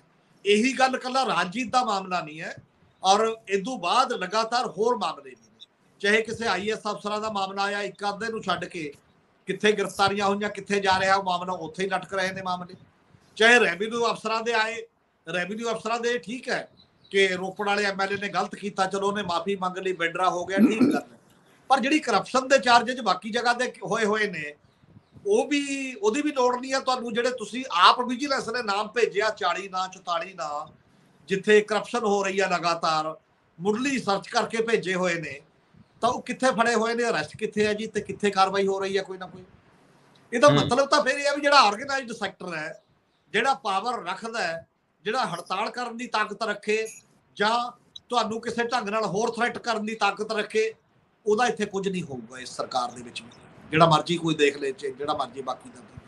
ਨਜ਼ਰ ਇਹ ਆ ਰਿਹਾ ਜੇ ਨਜ਼ਰ ਆਉਣਾ ਸ਼ੁਰੂ ਹੋ ਜੇ ਕਿਸੇ ਨਾ ਕਿਸੇ ਰੂਪ ਦੇ ਵਿੱਚ ਤਾਂ ਇਹ ਬਹੁਤ ਘਾਤਕ ਹੁੰਦਾ। ਹੈ ਤਾਂ ਲੋਕਾਂ ਦੇ ਦਿਮਾਗਾਂ ਦੇ ਵਿੱਚ ਇੱਕ ਗੱਲ ਚਲੀ ਜਾਂਦੀ ਹੈ ਵੀ ਕੋਈ ਗੱਲ ਨਹੀਂ ਕੀ ਹੋ ਜਾਣਾ 4 ਸਾਲ ਲਮਕਾ ਕੇ ਵਾਧੂ ਫੇਰ ਠੀਕ ਹੋ ਜਾਊਗਾ। ਐਸੇ ਤਰੀਕੇ ਜੀ। ਨਾਲ ਚੱਲ ਜਾਾਂਗੇ। ਲੋਕ ਉਹੇ ਜਿਹੇ ਲੋਕਾਂ ਦੇ ਸਰਨ ਦੇ ਵਿੱਚ ਚਲੇ ਜਾਂਦੇ ਨੇ। ਜਿਹੜੇ ਚਾਹੇ ਗਲਤ ਹੋਣ, ਚਾਹੇ ਕਰਪਟ ਹੋਣ, ਚਾਹੇ ਨਸ਼ਾ ਵੇਚਦੇ ਹੋਣ, ਅਗਲਾ ਕਹਿੰਦਾ ਤੂੰ ਮੈਨੂੰ ਬਚਾ ਲਈ, ਕੋਈ ਗੱਲ ਨਹੀਂ, ਮੈਂ ਤੇਰੇ ਨਾਲ ਚੱਲਦਾ। ਬਾਕੀ ਤੂੰ ਤਾਂ ਕੀ ਲੈਣਾ ਆਪਾਂ ਸਰੀਰ ਬੰਦਿਆਂ ਤੋਂ, ਇੱਥੇ ਇਹ ਕਿਹੜਾ ਬਚਾ ਸਕਦੇ ਨੇ? ਇਸ ਕਰਕੇ ਇਸ ਗੱਲ ਨੂੰ ਜਿਹੜਾ ਇੱਕ ਪ੍ਰਭਾਵ ਬਣਦਾ ਜਾ ਰਿਹਾ ਹੈ, ਬੜਾ ਸੀਰੀਅਸਲੀ ਜਿਹੜੇ, ਜਿਹੜੀ ਬਿਆਨਬਾਜ਼ੀ ਤੇ ਚੀਫ ਮਿਨਿਸਟਰ ਤੇ ਸਰਕਾਰਾਂ ਉਤਰੀਆਂ ਹੋਈਆਂ ਨੇ, ਉਹਦੇ ਟਰੈਕ ਤੋਂ ਹਟ ਕੇ ਜਿਹੜੇ ਨਵੇਂ ਪ੍ਰਭਾਵ ਪੈਦਾ ਹੋ ਰਹੇ ਨੇ, ਇਹਨਾਂ ਬਾਰੇ ਸੋਚਣਾ ਚਾਹੀਦਾ ਕਿ ਕਿਉਂ ਬਣ ਰਹੇ ਨੇ ਇਹ ਪ੍ਰਭਾਵ? ਤੁਸੀਂ ਕਿਉਂ ਨਹੀਂ ਬੰਦਿਆਂ ਨੂੰ, ਮਤਲਬ ਇਹ ਅਲੱਗ-ਅਲੱਗ ਦੋ ਤਰ੍ਹਾਂ ਦੇ ਕਾਨੂੰਨ ਕਿਉਂ ਨੇ? ਕਿਸੇ ਬੰਦੇ ਨੂੰ ਕੁਝ ਕਹਿ ਕੇ ਅਰੈਸਟ ਕਰਦੇ ਹੋ ਕਿਸੇ ਨੂੰ ਕੁਝ ਕਿਹਦਾ ਤੋਂ ਕਹਿੰਦਾ ਤਾਂ ਵਿਚਾਰੇ ਦਾ ਕੋਈ ਰੋਲ ਵੀ ਨਹੀਂ ਹੁੰਦਾ। ਉਹ ਵੀ ਕੋਈ ਤੀਜਾ ਬੰਦਾ ਕਹਿ ਦਿੰਦਾ ਕਿ ਮੈਂ ਇਹਦੇ ਤੇ ਮੈਨੂੰ ਪਤਾ ਜੀ ਇਹਨੂੰ ਫੜੋ ਜ਼ਰੂਰ ਤੇ ਤੁਸੀਂ ਫੜ ਲੈਂਦੇ ਹੋ ਰੰਜਾ 24 ਕਿਸੇ ਨੂੰ ਕਿਸੇ ਨੂੰ ਪੁਲਿਸ ਫੜ ਲੈਂਦੀ ਹੈ। ਔਰ ਸਾਡੇ ਅਜੇ ਵੀ ਪੁਲਿਸ ਦਾ ਤੇ ਓਵਰਆਲ ਪ੍ਰਸ਼ਾਸਨ ਦਾ ਜਿਹੜਾ ਐਟੀਟਿਊਡ ਹੈ, ਉਹ ਕੋਈ ਬਹੁਤ ਜ਼ਿਆਦਾ ਬਦਲਿਆ ਨਹੀਂ ਹੋਇਆ ਆਮ ਲੋਕਾਂ ਲਈ। ਬਾਕੀ ਉੱਪਰੋਂ ਉੱਪਰੋਂ ਚਾਹੇ ਸਭ ਨੂੰ ਲੱਗਦਾ ਹੋਵੇ ਕਿ ਬਦਲ ਗਿਆ ਜੀ, ਬਾਕੀ ਚੀਜ਼ਾਂ ਹੋ ਗਈਆਂ, ਜੇ ਹੋ ਗਿਆ ਉਹ ਹੋ ਗਿਆ। ਔਰ ਇਹ ਲੋਕਾਂ ਨੂੰ ਉਦੋਂ ਦਿਖਾਈ ਦੇਗਾ ਜਦੋਂ ਜਿਹੜੇ ਬੰਦੇ ਦਾ ਨਾਮ ਆ ਗਿਆ। ਉਹ ਤੋਂ ਕਸਟੋਡੀਅਲ ਹਰਾਸਤ ਔਰ ਜੇ ਤੁਸੀਂ ਬਾਕੀ ਦੇ ਕਸਟੋਡੀਅਲ ਹਰਾਸਤ ਗੁਰੂ ਗ੍ਰੰਥ ਸਾਹਿਬ ਦੀ ਬੇਅਦਬੀ ਦਾ ਮਾਮਲਾ ਹੈ ਚਲਾਨ ਚ ਨਾ ਆਇਆ ਹੋਇਆ ਤੁਸੀਂ ਰਾਮ ਰਹੀਮ ਦੀ ਕਸਟੋਡੀਅਲ ਹਰਾਸਤ ਨਹੀਂ ਮੰਗ ਰਹੇ ਕਿਤੇ ਵੀ ਉਸ ਲੈਵਲ ਦੇ ਉੱਤੇ ਕਦੇ ਲੋਕਾਂ ਨੂੰ ਸਾਹਮਣੇ ਨਹੀਂ ਆਉਂਦੀ। ਤੁਸੀਂ ਕਿਸੇ ਵੱਡੇ। ਪੁਲਿਸ ਅਫਸਰ ਦੀ ਨਹੀਂ ਮੰਗ ਰਹੇ ਜਿਹਦਾ ਨਾਮ ਆ ਗਿਆ ਸਾਹਮਣੇ। ਤੁਸੀਂ ਕਿਸੇ ਹੋਰ ਬਿਊਰੋਕਰੇਟ ਦੀ ਨਹੀਂ ਮੰਗ ਰਹੇ ਜਿਹਦਾ ਨਾਮ ਆ ਗਿਆ ਸਾਹਮਣੇ। ਤਾਂ ਕੀ ਅੰਦਾਜ਼ਾ ਲਾਇਆ ਜਾਏ ਫਿਰ ਇਸ ਸਾਰੇ ਦਾ? ਇਹਦਾ ਮਤਲਬ ਪੁਲਿਸ ਸਧਾਰਨ ਲੋਕਾਂ ਦੀ ਰਹੇਗੀ। ਜਿਹੜਾ ਤਕੜੇ ਦਾ ਸੱਤੀ ਵੀ ਸੌ ਹੈ, ਉਹੀ ਰੂਲ ਚੱਲਣਾ ਵੈਸੇ ਤੁਸੀਂ ਕਹਿੰਦੇ ਹੋ ਵੀ ਕੱਲ ਕੀ ਜਿੱਡੀ ਮਰਜ਼ੀ ਹੋ ਜੇ। ਕੱਲੇ ਪੋਲੀਟੀਕਲ ਲੋਕਾਂ ਨੂੰ, ਮੈਂ ਨਹੀਂ ਕਹਿੰਦਾ ਪੋਲੀਟੀਕਲ ਲੋਕਾਂ ਨੂੰ ਨਾ ਫੜੋ, ਉਹਨਾਂ ਦਾ ਮਾਮਲਾ।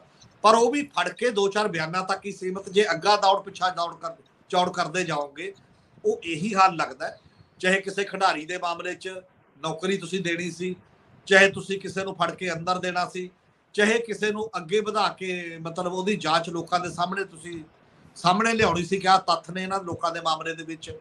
ਉਹਦੇ ਤੇ ਤਾਂ ਕੋਈ ਨਹੀਂ ਮੇਰਾ ਖਿਆਲ ਕਰ ਸਕੇ। ਕੇਸ ਦਰਜ ਹੋ ਗਿਆ ਕਈਆਂ ਤੇ। ਕੇਸ ਸਾਇਲੈਂਟ ਹੈ, ਅੱਗੇ ਕਾਰਵਾਈ ਕੋਈ ਨਹੀਂ ਚੱਲ ਰਹੀ। ਕੁਝ ਚਲਾਨ ਪੇਸ਼ ਹੋ ਗਏ, ਉਹ ਅਦਾਲਤ ਦੇਖ ਲੂਗੀ ਕੀ ਕਰਨਾ ਹੈ। ਉਹਨਾਂ ਚਿਰ ਤੁਸੀਂ ਮੌਕੇ ਦੇ ਰਹੇ ਹੋ ਉਹਨਾਂ ਲੋਕਾਂ ਨੂੰ, ਸਾਰਿਆਂ ਨੂੰ। ਜਿਹੜੇ ਲੋਕਾਂ ਨੇ ਜੇਕਰ ਵਾਕਈ ਉਸ ਲੈਵਲ ਦੀ ਜ਼ਰੂਰਤ ਹੈ, ਜੇਕਰ ਵਾਕਈ ਜਿਹੜੀਆਂ ਰਿਪੋਰਟਾਂ 'ਚ ਆਇਆ ਉਹਨਾਂ ਦਾ ਰੋਲ ਹੈ, ਤਾਂ ਲੋਕਾਂ ਦੇ ਇੰਨੇ ਧੀਆਂ ਪੁੱਤ ਬਰਬਾਦ ਕਰਨ ਦਾ, ਜਿਹਦੇ ਤੇ ਇਲਜ਼ਾਮ ਹੋਵੇ ਉਹ ਬੰਦਿਆਂ ਨੂੰ ਤੁਸੀਂ ਅਰੈਸਟ ਤੱਕ ਨਾ ਕਰੋ ਤਾਂ ਇਹਦੇ ਤੋਂ ਫਿਰ ਨਸ਼ਾ ਛਡਾਊ, ਜਿਹੜੀਆਂ ਅਫਵਾਹਾਂ ਹੀ ਕਹੋਗੇ ਉਹਨੂੰ ਰਿਊਮਰਜ ਜਿਹੜੀਆਂ ਤੁਸੀਂ ਚਲਾ ਰੱਖੀਆਂ ਨੇ ਕਿ ਅਸੀਂ ਬਹੁਤ ਸੀਰੀਅਸ ਹਾਂ, ਤਾਂ ਇਹਦੇ ਤੇ ਯਕੀਨ ਨਹੀਂ ਹੋਣਾ ਕਿਸੇ ਜੀ, ਸਰਦਾਰ ਜਗਤਾਰ ਸਿੰਘ ਜੀ, ਅਕਸਰ ਇਹ ਮੰਨ ਲਿਆ ਜਾਂਦਾ ਹੈ ਕਿ ਜਿਹੜੇ ਸਿਆਸਤਦਾਨ ਹੈ, ਉਹਨਾਂ ਦੀ ਤਾਂ ਆਮਦਨ ਤੋਂ ਵੱਧ ਜਾਇਦਾਦ ਵੀ ਫੀਤਿਆਂ ਨਾਲ ਮਾਪ ਲਈ ਜਾਂਦੀ ਹੈ, ਪਰ ਕੀ ਜਿਹੜੀ ਸਦਾ ਦੀ ਸਰਕਾਰ ਹੈ ਕਦੇ ਕਿਤੇ ਉੱਥੇ ਫੀਤਾ ਵੱਜਦਾ ਦੇਖਿਆ। ਪਿਛਲੇ ਦਿਨਾਂ 'ਚ ਅਸੀਂ ਅਸ਼ੀਸ਼ ਕਪੂਰ ਜਾਂ ਇੱਕ ਦੋ ਹੋਰ ਮਾਮਲਿਆਂ ਨੂੰ ਜੇ ਛੱਡ ਲਈਏ, ਤੇ ਬਹੁਤੀ ਵਾਰੀ ਲਗਭਗ ਹੜਤਾਲਾਂ ਦੇ ਅਸਰ ਥੱਲੇ ਪ੍ਰੈਸ਼ਰ ਥੱਲੇ, ਇਹ ਸਾਰੇ ਮਾਮਲੇ ਚੁੱਪ ਚਪੀਤੇ ਪਰਦੇ ਥੱਲੇ ਚਲੇ ਜਾਂਦੇ ਆ। ਇੱਕ ਬਹੁਤ ਛੋਟੀ ਜਿਹੀ ਟਿੱਪਣੀ ਮੈਂ ਤੁਹਾਡੇ ਤੋਂ ਚਾਹੂੰਗਾ ਕਿ ਰਾਜਜੀਤ ਇੱਕ ਮਿੱਥ ਵਾਂਗ ਹੈ। ਇੰਨਾ ਲੰਬਾ ਸਮਾਂ ਮਾਮਲਾ ਪਹਿਲਾਂ ਲਟਕ ਗਿਆ ਤੇ ਮਾਮਲਾ ਦਰਜ ਹੋਣ ਤੋਂ ਬਾਅਦ, ਬਰਖਾਸਤ ਹੋਣ ਤੋਂ ਬਾਅਦ ਅਜੇ ਵੀ ਕੀ ਇਹਦੇ ਵਿੱਚ ਕੋਈ ਵੱਡੇ ਭੇਦ ਸ਼ਾਮਲ ਨੇ, ਜਿਹੜਾ ਇਸ ਗੱਲ ਨੂੰ ਹੱਥ ਹੀ ਨਹੀਂ ਪਾਇਆ ਜਾ ਰਿਹਾ? ਪੰਜਾਬ ਦੇ ਵਿੱਚ ਇਹ ਮਸਲਾ ਅੱਜ ਦਾ ਨਹੀਂ ਹੈ।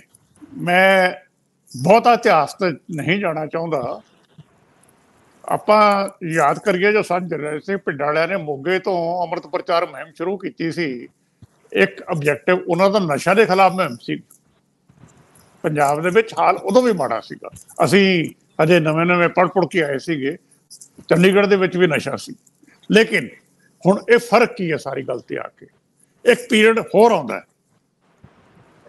90 ਦੇ ਵਿੱਚ ਆ ਕੇ ਇੱਕ ਲਗਾਤਾਰ ਪੰਜਾਬ ਦੇ ਜਿਹੜਾ ਡਰੱਗਸ ਆਇਆ ਜਿਵੇਂ ਸਿਸਟਮੈਟਿਕ ਕਿਸੇ ਡਿਜ਼ਾਈਨ ਦਾ ਪਾਰਟ ਹੋਵੇ, ਇਸ ਤਰੀਕੇ ਦੇ ਨਾਲ ਆਇਆ ਇੱਕਦਮ ਸਿਚੁਏਸ਼ਨ ਚੇਂਜ ਹੁੰਦੀ ਚ- ਡਿੱਗਦੀ ਚਲੀ ਗਈ ਤੇ ਲਗਾਤਾਰ ਇਹ ਇਸ਼ੂ ਪਬਲਿਕ ਪਬਲਿਕ ਡੋਮੇਨ ਦੇ ਵਿੱਚ ਆ ਗਿਆ।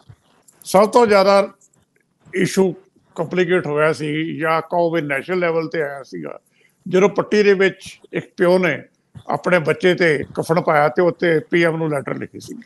ਨੈਸ਼ਨਲ ਲੈਵਲ ਤੇ ਮਸਲਾ ਉੱਠਦਾ ਰਿਹਾ। ਕੈਪਟਨ ਅਮਰਿੰਦਰ ਸਿੰਘ ਦੀ ਪਿਛਲੀ ਸਰਕਾਰ ਨੇ ਇੱਕ ਦੇਖਾ 40 50 ਹਜ਼ਾਰ ਕੇਸ ਦਰਜ ਕੀਤੇ ਸੀ ਤੇ ਐਫ ਆਈ ਆਰ ਵੀ ਇੱਕੋ ਜਿਹੀ ਸੀ ਆਲਮੋਸਟ ਮਸਲਾ ਇਹ ਇਸ਼ੂ ਹੈ ਕੀ ਹੈ? ਫਿਨਾਮਨਾ ਕੀ ਹੈ? ਰਾਜਨੀਤ ਇੱਕ ਮਿਡਲ ਲੈਵਲ ਦਾ ਇਨਸਟਰੂਮੈਂਟ ਹੈ। ਇਸ ਤੋਂ ਬਾਅਦ ਕੁਝ ਨਹੀਂ ਹੈ। ਉੱਪਰ ਥੱਲੇ ਕੀ ਹੈ ਸਾਰਾ? ਰਾਦਰ ਉੱਪਰ। ਇੰਨਾ ਰੌਲਾ ਪੈ ਰਿਹਾ, ਇਹਦੀ ਜੜਾ ਕਿੱਥੇ ਨਾ ਤਾਂ ਸੈਂਟਰ ਬੋਲ ਰਿਹਾ ਇਹਦੇ ਬਾਰੇ। ਇਹ ਖਾਲਸਾ ਏਡ ਦੇ ਤਾਂ ਤੁਹਾਡੇ ਐਨਆਈਏ ਵਾਲੇ ਆ ਜਾਂਦੇ ਇਹ ਪੰਜਾਬ ਦੇ ਵਿੱਚ ਜਿਹੜੀ ਡਰੱਗਸ ਆ ਰਹੀ ਹੈ ਇਹ ਤਾਂ ਗੁਜਰਾਤ ਤੋਂ ਵੀ ਆ ਰਹੀ ਹੈ ਨਾਰਥ ਈਸਟ ਤੋਂ ਵੀ ਆ ਰਹੀ ਹੈ, ਦਿੱਲੀ ਤੋਂ ਵੀ ਆ ਰਹੀ ਹੈ। ਤੇ ਇਹ ਫਿਰ ਫਨਾਮਨਾ ਕੀ ਹੈ ਆਪਣੇ ਆਪ ਦੇ ਵਿੱਚ? ਇਹ ਦਿੱਲੀ ਵਾਲੇ ਵੀ ਇਹਦੀ ਇਨਵੈਸਟੀਗੇਸ਼ਨ ਕਿਉਂ ਨਹੀਂ ਕਰਦੇ? ਕਿ ਇਹਦੇ ਪਿੱਛੇ ਕੋਈ ਡਿਜ਼ਾਈਨ ਹੈ? ਸਾਰੀ ਗੱਲ ਦੇ ਵਿੱਚ ਆ ਕੇ ਰੌਲਾ ਪੈ ਰਿਹਾ ਹੈ, ਲਗਾਤਾਰ ਹਰ ਪਾਰਟੀ ਰੌਲਾ ਪਾ ਰਹੀ ਹੈ। ਜਿਹੜੀ ਪਾਰਟੀ ਆਪੋਜੀਸ਼ਨ ਆ ਜਾਂਦੀ, ਖਾਸ ਕਰਕੇ ਰੌਲਾ ਪਾਉਂਦੀ ਹੈ ਕਿ ਨਸ਼ਾ ਵੱਧ ਗਿਆ। ਹੁਣ ਤਾਂ ਹਾਲਤ ਇੱਥੇ ਤੱਕ ਸੈਚੂਰੇਟ ਹੋ ਚੁੱਕੀ ਹੈ ਕਿ ਅਖਬਾਰਾਂ ਦੇ ਵਿੱਚ ਵੀ ਬੱਚਾ ਮਰ ਜਾਏ ਨਸ਼ੇ ਦੀ ਹੋੜ ਉਹਦੇ ਨਾਲ ਖਬਰ ਵੀ ਛੇਤੀ ਕੀਤੀ ਨਹੀਂ ਲੱਗਦੀ। ਹੂੰ। ਅਸੀਂ ਕੰਪਰੋਮਾਈਜ਼ ਕਰ ਲਿਆ ਆਪਣੇ ਆਪ ਨੂੰ। ਅੱਗੇ ਲਗਾਤਾਰ ਫਰੰਟ ਪੇਜ ਤੇ ਖਬਰਾਂ ਲੱਗਦੇ ਰਹੀਆਂ। ਹੁਣ ਤਾਂ ਮੈਂ ਪਹਿਲਾਂ ਗੱਲ ਕੀਤੀ ਸੀ ਇੱਕ ਪੁੱਤ ਆਪਣੀ ਮਾਂ ਨੂੰ ਮਾਰ ਦਿੰਦਾ ਉਸ ਤੋਂ ਇੱਕ ਹਫ਼ਤਾ ਪਹਿਲਾਂ ਆਪਣੇ ਕਜ਼ਨ ਨੂੰ ਮਾਰ ਦਿੰਦਾ। ਤੇ ਖਬਰ ਅਗਲੇ ਦਿਨ ਲੱਗਦੀ ਹੈ ਵੀ ਕੁਝ ਅਖਬਾਰਾਂ ਦੇ ਵਿੱਚ। ਅਸੀਂ ਕਿੱਥੇ ਪਹੁੰਚੇ ਹੋਏ ਹਾਂ? ਇਨ ਫੈਨਾਮਨਾ ਇਨ ਟੋਟੈਲਿਟੀ ਕੀ ਹੈ? ਇਹ ਡੀਪ ਇਹਦੀ ਇਨਵੈਸਟੀਗੇਸ਼ਨ ਮੇਰੇ ਖਿਆਲ 'ਚ ਇੱਕ ਹਾਈ ਲੈਵਲ ਪ੍ਰੋਬ ਵੱਖਰੀ ਹੋਣੀ ਚਾਹੀਦੀ ਹੈ। ਇਹ ਨਹੀਂ ਕਿ ਜੀ ਇਸੇ ਐਸਆਈਟੀ ਬਣਾਤੀ ਇਹਦੀ ਅਕਾਊਂਟੇਬਿਲਿਟੀ ਫਿਕਸ ਹੋਵੇ ਜਿਹੜਾ ਸਾਰਾ ਪ੍ਰੋਬ ਕਰੇ ਵੀ ਜਿਹੜਾ ਚਾਰੇ ਪਾਸੇ ਨਸ਼ਾ ਰਿਹਾ ਹੈ ਇਹਦੀ ਜੜ੍ਹਾਂ ਕਿੱਥੇ ਹੈ ਜਦ ਤੱਕ ਜੀ। ਜੜ੍ਹਾਂ 'ਚ ਨਹੀਂ ਪਹੁੰਚਦੇ ਇਹਦਾ ਕੋਈ ਹੱਲ ਨਹੀਂ ਹੋ ਸਕਦਾ। ਆਖਰੀ ਗੱਲ ਮੈਂ ਤੁਹਾਡੇ ਤੋਂ ਸ਼ੁਰੂ ਕਰ ਲੈਣਾ ਸਰਦਾਰ ਜਗਤਾਰ ਸਿੰਘ ਜੀ। ਅੱਜ ਦਿੱਲੀ ਦੇ ਵਿੱਚ ਪਾਰਲੀਮੈਂਟ ਦੇ ਵਿੱਚ ਦਿੱਲੀ ਨਾਲ ਸੰਬੰਧਿਤ ਬਿੱਲ ਪੇਸ਼ ਹੋਇਆ ਦਿੱਲੀ ਦੀਆਂ ਸੇਵਾਵਾਂ ਨੂੰ ਲੈ ਕੇ। ਔਰ ਉੱਥੇ ਜਦੋਂ ਅਮਿਤ ਸ਼ਾਹ ਗ੍ਰਹਿ ਮੰਤਰੀ ਦੇਸ਼ ਤੇ ਇਹਨੂੰ ਪੇਸ਼ ਕਰਦੇ ਆ, ਬਹਿਸ ਸ਼ੁਰੂਆਤ ਕਰਦੇ ਆ ਤੇ ਉਹ ਕਹਿੰਦੇ ਵੀ ਇਹ ਨਾ ਤਾਂ ਯੂਟੀ ਹੈ ਤੇ ਨਾ ਇਹ ਸਟੇਟ ਹੈ। ਇਹ ਤਾਂ ਸੰਘੀ ਸ਼ਾਸਿਤ ਪ੍ਰਦੇਸ਼ ਹੈ। ਇਹ ਨਹਿਰੂ ਤੋਂ ਲੈ ਕੇ ਜਿੰਨੇ ਪ੍ਰਧਾਨ ਮੰਤਰੀ ਉਹਨਾਂ ਨੇ ਕਦੇ ਇਸ ਮੰਗ ਵੱਲ ਧਿਆਨ ਨਹੀਂ ਦਿੱਤਾ ਕਿ ਤੁਸੀਂ ਇਹਨੂੰ ਪੂਰੀ ਸਟੇਟ ਬਣਾ ਦਿਓ। ਇਹ ਪੂਰੀ ਸਟੇਟ ਬਣ ਵੀ ਨਹੀਂ ਸੀ ਸਕਦੀ ਔਰ ਇਹਦੇ- ਇਹਦਾ ਤਰੀਕਾ ਵੱਖਰੀ ਤਰ੍ਹਾਂ ਦਾ ਹੈ। ਸਾਨੂੰ ਪਤਾ ਹੈ ਕਿ ਸਾਨੂੰ ਇਹਦੇ ਵਿੱਚ ਚੇਂਜ ਕਰਨ ਦਾ ਹੱਕ ਹੈ। ਅਸੀਂ ਇਹ ਲਿਆ ਸਕਨੇ ਆ, ਇਹ ਸਾਨੂੰ ਹੱਕ ਦਿੱਤਾ ਹੋਇਆ। ਔਰ ਮੈਨੂੰ ਲੱਗਦਾ ਕਿ ਇਸ ਮਾਮਲੇ 'ਚ ਕੇਜਰੀਵਾਲ ਬੇਸ਼ੱਕ ਸਾਰਿਆਂ ਨੂੰ ਮੋਬਿਲਾਈਜ਼ ਕਰਕੇ ਪਾਰਲੀਮੈਂਟ ਦੇ ਵਿੱਚ ਤਾਂ ਖੜੇ ਕਰਨ 'ਚ ਸਫਲ ਹੋ ਗਏ ਭਾਜਪਾ ਦੇ ਵਿਰੋਧੀਆਂ ਨੂੰ। ਲੇਕਿਨ ਜਿਹੜੀ ਲੋਕਾਂ ਦੀ ਆਵਾਜ਼ ਹੁੰਦੀ ਆ, ਉਹ ਅਜੇ ਵੀ ਨਹੀਂ ਆ ਰਹੀ ਇਸ ਮਾਮਲੇ 'ਚ। ਅੱਜ ਲੋਕ ਇੱਕ ਛੋਟੀ ਜਿਹੀ ਟਿੱਪਣੀ ਮੈਂ ਕਈ ਜਗ੍ਹਾ ਤੋਂ ਸੁਣੀ ਵੀ ਜੇ ਕੇਜਰੀਵਾਲ ਸਾਹਿਬ ਸੰਸਦ ਦੇ ਬਾਹਰਲੇ ਪਾਸੇ ਬਿਲਕੁਲ ਸ਼ਾਂਤਮਈ, ਕੋਈ ਲੱਖ ਬੰਦਾ ਦਿੱਲੀ ਦਾ ਇਕੱਠਾ ਕਰਕੇ ਸੰਕੇਤਕ ਬਿਠਾਉਂਦੇ। ਕਿ ਦਿੱਲੀ ਦਾ ਮੈਂਡੇਟ ਕੇਜਰੀਵਾਲ ਹੱਥ ਹੈ ਤੇ ਤੁਸੀਂ ਸੱਤਾ ਦੀ ਕੁਝ ਜਿਹੜੀ ਤਾਕਤ ਹੈ ਫੈਸਲੇ ਲੈਣ ਦੀ, ਉਹ ਇਹਨਾਂ ਨੂੰ ਵੀ ਦਿਓ। ਮੈਨੂੰ ਲੱਗਦਾ ਕੇਜਰੀਵਾਲ ਸਾਹਿਬ ਸਿਰਫ ਜੁਗਾੜਬੰਦੀ ਚ ਅੱਗੇ ਵਧ ਰਹੇ ਨੇ। ਇੱਕ ਹਲਕੀ ਹਲਕੀ ਟਿੱਪਣੀ ਜੀ। ਦਿੱਲੀ ਸਪੈਸ਼ਲ ਕੇਸ ਹੈ। ਦਿੱਲੀ ਸੈਮੀ ਸਟੇਟ ਹੈ।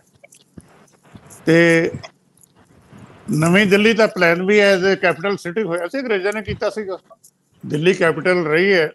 ਮੁਗਲਾਂ ਦੇ ਵੇਲੇ ਤੋਂ ਗੱਲ ਵੱਖਰੀ ਹੈਗੀ ਆ। ਪੰਜਾਬ ਦਾ ਪਾਰਟ ਵੀ ਦਿੱਲੀ ਰਿਹਾ ਕਿਸ ਵੇਲੇ, ਪੰਜਾਬ ਦੀ ਡਿਵੀਜ਼ਨ ਸੀ ਦਿੱਲੀ।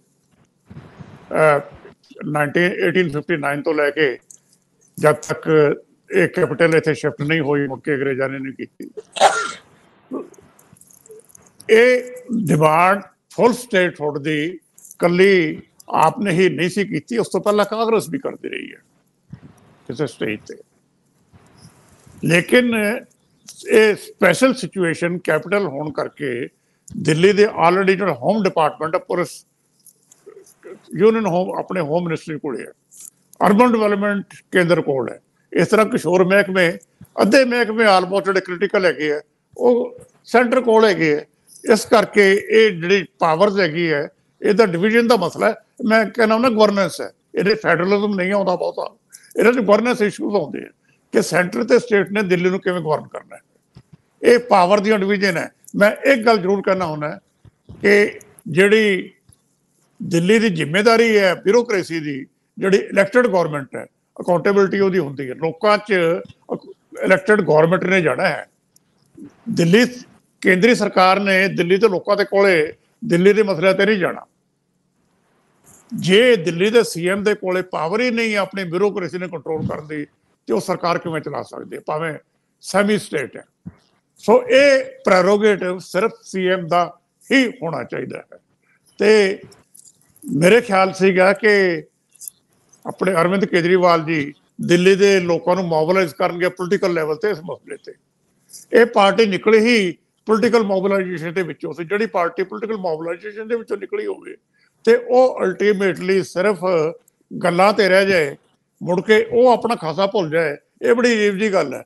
ਅੱਜ ਵੀ ਇਹਨਾਂ ਨੂੰ। ਚਾਹੀਦਾ ਹੈ ਕਿ ਸੰਸਦ ਦੇ ਵਿੱਚ ਲੜਾਈ ਲੜਨ ਦੀ ਥਾਂ ਤੇ ਸਿਰਫ ਬਾਹਰ ਲੋਕਾਂ ਨੂੰ ਮੋਬਿਲਾਈਜ਼ ਕਰਨ against the centre government Sardar Hamir Singh ਦੀ ਸਥਿਤੀ ਬੜੀ ਅਜੀਬੋ-ਗਰੀਬ ਹੈ।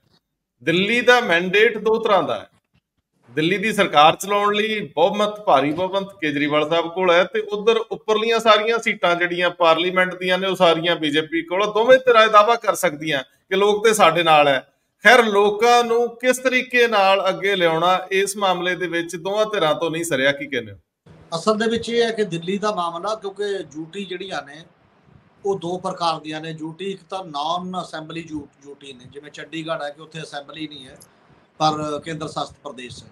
ਇਸੇ ਤਰ੍ਹਾਂ ਦਿੱਲੀ ਸਮੇਤ ਕਈ ਰਾਜ ਇਹੋ ਜਿਹੇ ਬਣ ਗਏ ਨੇ ਜਿੱਥੇ ਡਿਊਟੀ ਤਾਂ ਹੈਗੀਆਂ ਨੇ, ਪਰ ਉੱਥੇ ਅਸੈਂਬਲੀਆਂ ਨੇ, ਲੋਕਾਂ ਦੇ ਚੁਣੇ ਨੁਮਾਇੰਦੇ ਵੀ ਨੇ। ਦਿੱਲੀ ਦਾ ਉਹਨਾਂ ਚੋਂ ਵੀ ਇੱਕ ਖਾਸ ਸਥਾਨ ਹੈ। ਕਿਉਂਕਿ ਇੱਥੇ ਗਵਰਨਮੈਂਟ ਆਫ ਇੰਡੀਆ ਆਪਣਾ ਦਾਖਲ ਡਾਇਰੈਕਟ ਉਸ ਲੈਵਲ ਤੇ ਕਹਿੰਦੀ ਹੈ ਕਿ ਇਹ ਕੈਪੀਟਲ ਹੈ ਨੈਸ਼ਨਲ ਕੈਪੀਟਲ ਹੈ। ਇਸ ਕਰਕੇ ਉਹ ਦੋਨਾਂ ਤੋਂ ਵੀ ਜਿਹੜੇ ਮਤਲਬ ਅਸੈਂਬਲੀ ਵਾਲੀ ਤੋਂ ਵੀ ਇੱਕ ਵੱਖਰੇ ਮੈਂ ਥੋੜਾ ਜਿਹਾ ਉਸ ਪੱਧਰ ਦੇ ਉੱਤੇ। ਇਸ ਲਈ ਜਿਹੜੇ ਪੂਰਨ ਰਾਜ ਦੀ ਮੰਗ ਹੈ, ਮੇਰੇ ਖਿਆਲ ਨਾਲ ਜਿਹੜੇ ਬਾਕੀ ਡਿਊਟੀਜ਼ ਨੇ ਉਹ ਥੋੜੀਆਂ ਜਿਹਾ ਸੌਖੀਆਂ ਰਹਿਣਗੀਆਂ, ਜਦੋਂ ਵੀ ਪੂਰਨ ਰਾਜ ਦੇ ਮੰਗ ਚ ਆਏਗੀ। ਤੇ ਦਿੱਲੀ ਪੂਰਨ ਰਾਜ ਦੇ ਮੰਗ ਚ ਸ਼ਾਇਦ ਥੋੜਾ ਜਿਹਾ ਮੁਸ਼ਕਲ ਹੋਏਗਾ ਦੂਜੀਆਂ ਸਟੇਟਾਂ ਨਾਲੋਂ ਵੀ ਜਿਹੜੀਆਂ ਡਿਊਟੀ ਚ ਅਸੈਂਬਲੀਆਂ ਹੈਗੀਆਂ ਨੇ ਕਿਸੇ ਨਾ ਕਿਸੇ ਰੂਪ ਪਰ ਜਿਹੜਾ ਲੋਕਾਂ ਦਾ VOTING ਦਾ ਪੈਟਰਨ ਹੈ, ਮੈਨੂੰ ਇਹ ਲੱਗਦਾ ਕਿ ਲੰਮੇ ਸਮੇਂ ਤੋਂ ਦਿੱਲੀ ਦੇ ਲੋਕਾਂ ਦੇ ਵਿੱਚ ਇੱਕ ਗੱਲ ਘਰ ਘਰ ਗਈ, ਤਿੰਨ ਇਲੈਕਸ਼ਨਾਂ ਤੋਂ ਬਾਅਦ। ਪਾਰਲੀਮੈਂਟ ਦੀਆਂ ਦੋ ਹੋਈਆਂ ਨੇ ਉਸ ਤੋਂ ਬਾਅਦ ਤੇ ਤੀਜੀ ਆਏਗੀ ਤੇ ਅਸੈਂਬਲੀ ਦੀਆਂ ਦਿੱਲੀ ਦੀਆਂ ਤਿੰਨ ਹੋ ਚੁੱਕੀਆਂ ਨੇ। ਔਰ ਉਸ ਤੋਂ ਬਾਅਦ ਇਹ ਹੋਗਾ ਕਿ ਹੇਠਲੀ ਦੇ ਉਹ ਨੂੰ ਲੱਗਦਾ ਕਿ ਜਿਹੜਾ ਮਹੱਲਾ ਕਲੀਨਿਕ ਦੇ ਤੌਰ ਤੇ, ਜਿਹੜਾ ਐਜੂਕੇਸ਼ਨ ਦੇ ਤੌਰ ਤੇ, ਮਿਊਨਿਸਪੈਲਿਟੀ ਵਰਕ ਦੇ ਤੌਰ ਤੇ ਠੀਕ ਹੈ, ਕੇਜਰੀਵਾਲ, ਆਮ ਆਦਮੀ ਪਾਰਟੀ, ਕਿਉਂਕਿ ਇਹਨਾਂ ਦਾ ਏਜੰਡਾ ਹੀ ਉਸੇ ਪੈਟਰਨ ਦੇ ਉੱਤੇ ਹੈ ਏਜੰਡਾ ਹੀ ਬਾਕੀ ਇਦੋਂ ਵੱਡਾ ਹੈ ਨਹੀਂ ਕਿਸੇ ਵੀ ਮਾਮਲੇ ਦੇ ਵਿੱਚ ਕੋਈ ਪੋਲੀਟੀਕਲ ਏਜੰਡਾ ਦਿਖਾਈ ਨਹੀਂ ਦਿੱਤਾ। ਔਰ ਜਿਹੜਾ ਏਜੰਡਾ ਹਿੰਦੂਤਵ ਦਾ ਹੈ ਬੀਜੇਪੀ ਓਵਰਆਲ ਡਿਜ਼ਾਈਨ ਦੇ ਵਿੱਚ ਪੂਰੇ ਕੰਟਰੀ 'ਚ ਰਨ ਕਰ ਰਹੀ ਹੈ। ਔਰ ਉੱਪਰ ਇਸ ਲਈ ਉੱਪਰ ਮੋਦੀ ਉਹਨਾਂ ਨੂੰ ਮੇਨ ਆਦਮੀ ਲੱਗਦਾ ਉਸ ਸਾਰੇ ਮਾਮਲੇ ਦੇ ਵਿੱਚ। ਔਰ ਉਹ ਆਈਡੀਓਲੋਜੀਕਲ ਏਜੰਡਾ ਜਿਹੜੀ ਜਿਹੜੀ, ਜਿਹੜੇ ਕਲਾਵੇ 'ਚ ਖਾਸ ਤੌਰ ਤੇ ਕਾਓ ਬੈਲਟ ਹਿੰਦੂ ਤਬੀ ਜਿਹੜੀਆਂ ਸਟੇਟਸ ਨੇ, ਜਿੱਥੇ ਹਿੰਦੂ ਮੈਜੋਰਿਟੇਰੀਅਨ ਸਟੇਟਸ ਨੇ ਜਿਹੜੀਆਂ ਔਰ ਉਹਨਾਂ ਨੂੰ ਇਹ ਲੱਗਣ ਲਾਤਾ ਉਹਨਾਂ ਨੇ, ਹਾਲਾਂਕਿ ਸਭ ਤੋਂ ਜ਼ਿਆਦਾ ਗਰੀਬੀ ਵੀ ਉੱਥੇ ਹੈ, ਬੇਰੁਜ਼ਗਾਰੀ ਵੀ ਉੱਥੇ ਹੈ, ਸਭ ਤੋਂ ਜ਼ਿਆਦਾ ਸਮੱਸਿਆਵਾਂ ਨਾਲ। ਪਰ ਕਿਤੇ ਨਾ ਕਿਤੇ ਇੱਕ ਕਾਲਪਨਿਕ ਜੀ ਚੀਜ਼ ਲੋਕਾਂ ਦੇ ਦਿਮਾਗ 'ਚ ਆ ਜਾਂਦੀ ਹੈ ਕਿ ਮੇਰਾ ਰਾਜ ਹੈ। ਇਹ ਜਿਹੜਾ ਪ੍ਰਾਈਡ ਹੈ, ਰਾਜ ਦਾ ਜਿਹੜਾ ਇੱਕ ਦੇਣਾ ਕਿਸੇ ਨਾ ਕਿਸੇ ਰੂਪ ਦੇ ਵਿੱਚ, ਇਸ ਲਈ ਦਿੱਲੀ 'ਚ ਉੱਪਰੋਂ ਇਹ ਦਿੱਤਾ ਹੋਇਆ ਲੱਗਦਾ ਉਹਨਾਂ ਨੂੰ ਐ ਵੀ ਹੇਠਾਂ ਉਹ ਚੱਲੀ ਜਾਵੇ, ਕੋਈ ਫ਼ਰਕ ਨਹੀਂ। ਪਰ ਉੱਪਰ ਨਰਿੰਦਰ ਮੋਦੀ ਇਸੇ ਲਈ ਸੰਕਟ ਵੀ ਆਮ ਆਦਮੀ ਪਾਰਟੀ ਤੇ ਉਹਦੇ 'ਚ ਇਸ ਲਈ ਲੋਕ ਕਈ ਵਾਰ ਵੀ ਕੀ ਵੀ ਕਹਿੰਦੇ ਰਹੇ ਕਿ ਵਿਚਾਰਕ ਤੌਰ ਤੇ ਬਖਰੇਵਾ ਕੋ ਬਹੁਤ ਵੱਡਾ ਦਿਖਾਈ ਨਹੀਂ ਦੇ ਰਿਹਾ। ਇਸ ਲਈ ਸਮਝੌਤਾ ਜਾ ਕਰਕੇ ਕਿ ਹੇਠਲਾ ਤੁਸੀਂ ਚੱਲੋ, ਉੱਪਰਲਾ ਤੁਸੀਂ ਚੱਲੋ। ਇਸੇ ਕਰਕੇ ਖੈਰ ਬਾਕੀ ਸਟੇਟਾਂ ਦੇ ਵਿੱਚ ਵੀ ਕਈ ਵਾਰ ਸਟੇਟ ਦੀ ਇਲੈਕਸ਼ਨ 'ਚ ਲੋਕ ਹੋਰ ਗੱਲਾਂ ਦੇਖ ਕੇ ਵੋਟ ਪਾਉਂਦੇ ਨੇ। ਜਿਹੜੀ ਨੈਸ਼ਨਲ ਇਲੈਕਸ਼ਨ ਹੁੰਦੀ ਹੈ ਉਹ ਹੋਰ ਗੱਲ ਵੋਟ ਪਾਉਂਦੇ ਨੇ। ਸ਼ਾਇਦ ਉਸੇ ਨੂੰ ਕਵਰ ਕਰਨ ਲਈ ਬੀਜੇਪੀ ਕਈ ਵਾਰ ਕਹਿੰਦੀ ਹੈ ਕਿ ਇੱਕ ਦੇਸ਼, ਇੱਕ ਵੋਟ ਦਾ ਪੈਟਰਨ ਹੋਣਾ ਚਾਹੀਦਾ, ਇੱਕੋ ਚੋਣਾਂ ਦਾ, ਇੱਕ ਚੋਣ ਦਾ, ਇਕੱਠੀਆਂ ਕਰਾਓ ਤਾਂ ਕਿ ਉਹਨਾਂ ਨੂੰ ਲੱਗਦਾ ਇਹਦੇ 'ਚ ਫਾਇਦਾ ਹੈ। ਡਬਲ ਇੰਜਨ ਸਰਕਾਰ ਹੋਣੀ ਚਾਹੀਦੀ ਹੈ, ਬਾਕੀ ਚੀਜ਼ਾਂ ਹੋਣੀਆਂ ਚਾਹੀਦੀਆਂ ਨੇ। ਉਹ ਡਾਇਵਰਸਿਟੀ ਨੂੰ ਨਹੀਂ ਮੰਨਦੇ, ਲੋਕਾਂ ਦੇ ਸੁਭਾਅ ਨੂੰ ਨਹੀਂ ਮੰਨਦੇ, ਲੋਕਾਂ ਦੀ ਨੇਚਰ ਨੂੰ ਨਹੀਂ ਮੰਨਦੇ ਕਿ ਉਹ ਬਿਹੇਵ ਅਲੱਗ-ਅਲੱਗ ਕਰਦੇ ਨੇ ਅਲੱਗ-ਅਲੱਗ ਸਰਕਾਰਾਂ ਦੇ ਵਿੱਚ, ਵੱਖ-ਵੱਖ ਮਾਮਲਿਆਂ ਦੇ ਵਿੱਚ। ਔਰ ਉਸ ਕਰਕੇ ਦਿੱਲੀ ਦਾ ਇੱਕ ਸੰਕਟ ਲਗਾਤਾਰ ਬਣਿਆ। ਦੂਜੀ ਗੱਲ, ਅਰਵਿੰਦ ਕੇਜਰੀਵਾਲ ਦੀ ਪਾਰਟੀ ਵੀ ਕੋਈ ਇਹਨਾਂ ਅਧਿਕਾਰਾਂ ਪ੍ਰਤੀ ਕ੍ਰਿਟੀਕਲ ਕੋਈ ਸਟ੍ਰੈਟਜੀਕਲੀ ਉਹਨੇ ਅਪਰੋਚ ਨਹੀਂ ਆਪਣੀ ਬਣਾਈ ਹੋਵੇ। ਕਿ ਉਹ ਹਰ ਗੱਲ ਤੇ ਲੜਦੀ ਹੋਵੇ। ਨਹੀਂ ਤਾਂ ਫਿਰ ਉਹਦਾ ਜੰਮੂ ਕਸ਼ਮੀਰ ਦੀ 370 ਧਾਰਾ ਤੇ ਵੀ ਹੋਰ ਅਪਰੋਚ ਹੋਣੀ ਸੀ। ਨਹੀਂ ਤਾਂ ਐਨਆਈਏ ਯੂਏਪੀਏ ਤੇ ਬਾਕੀ ਦੇ ਮਾਮਲੇ 'ਚ ਵੀ ਹੋਰ ਅਪਰੋਚ ਹੋਣੀ ਸੀ।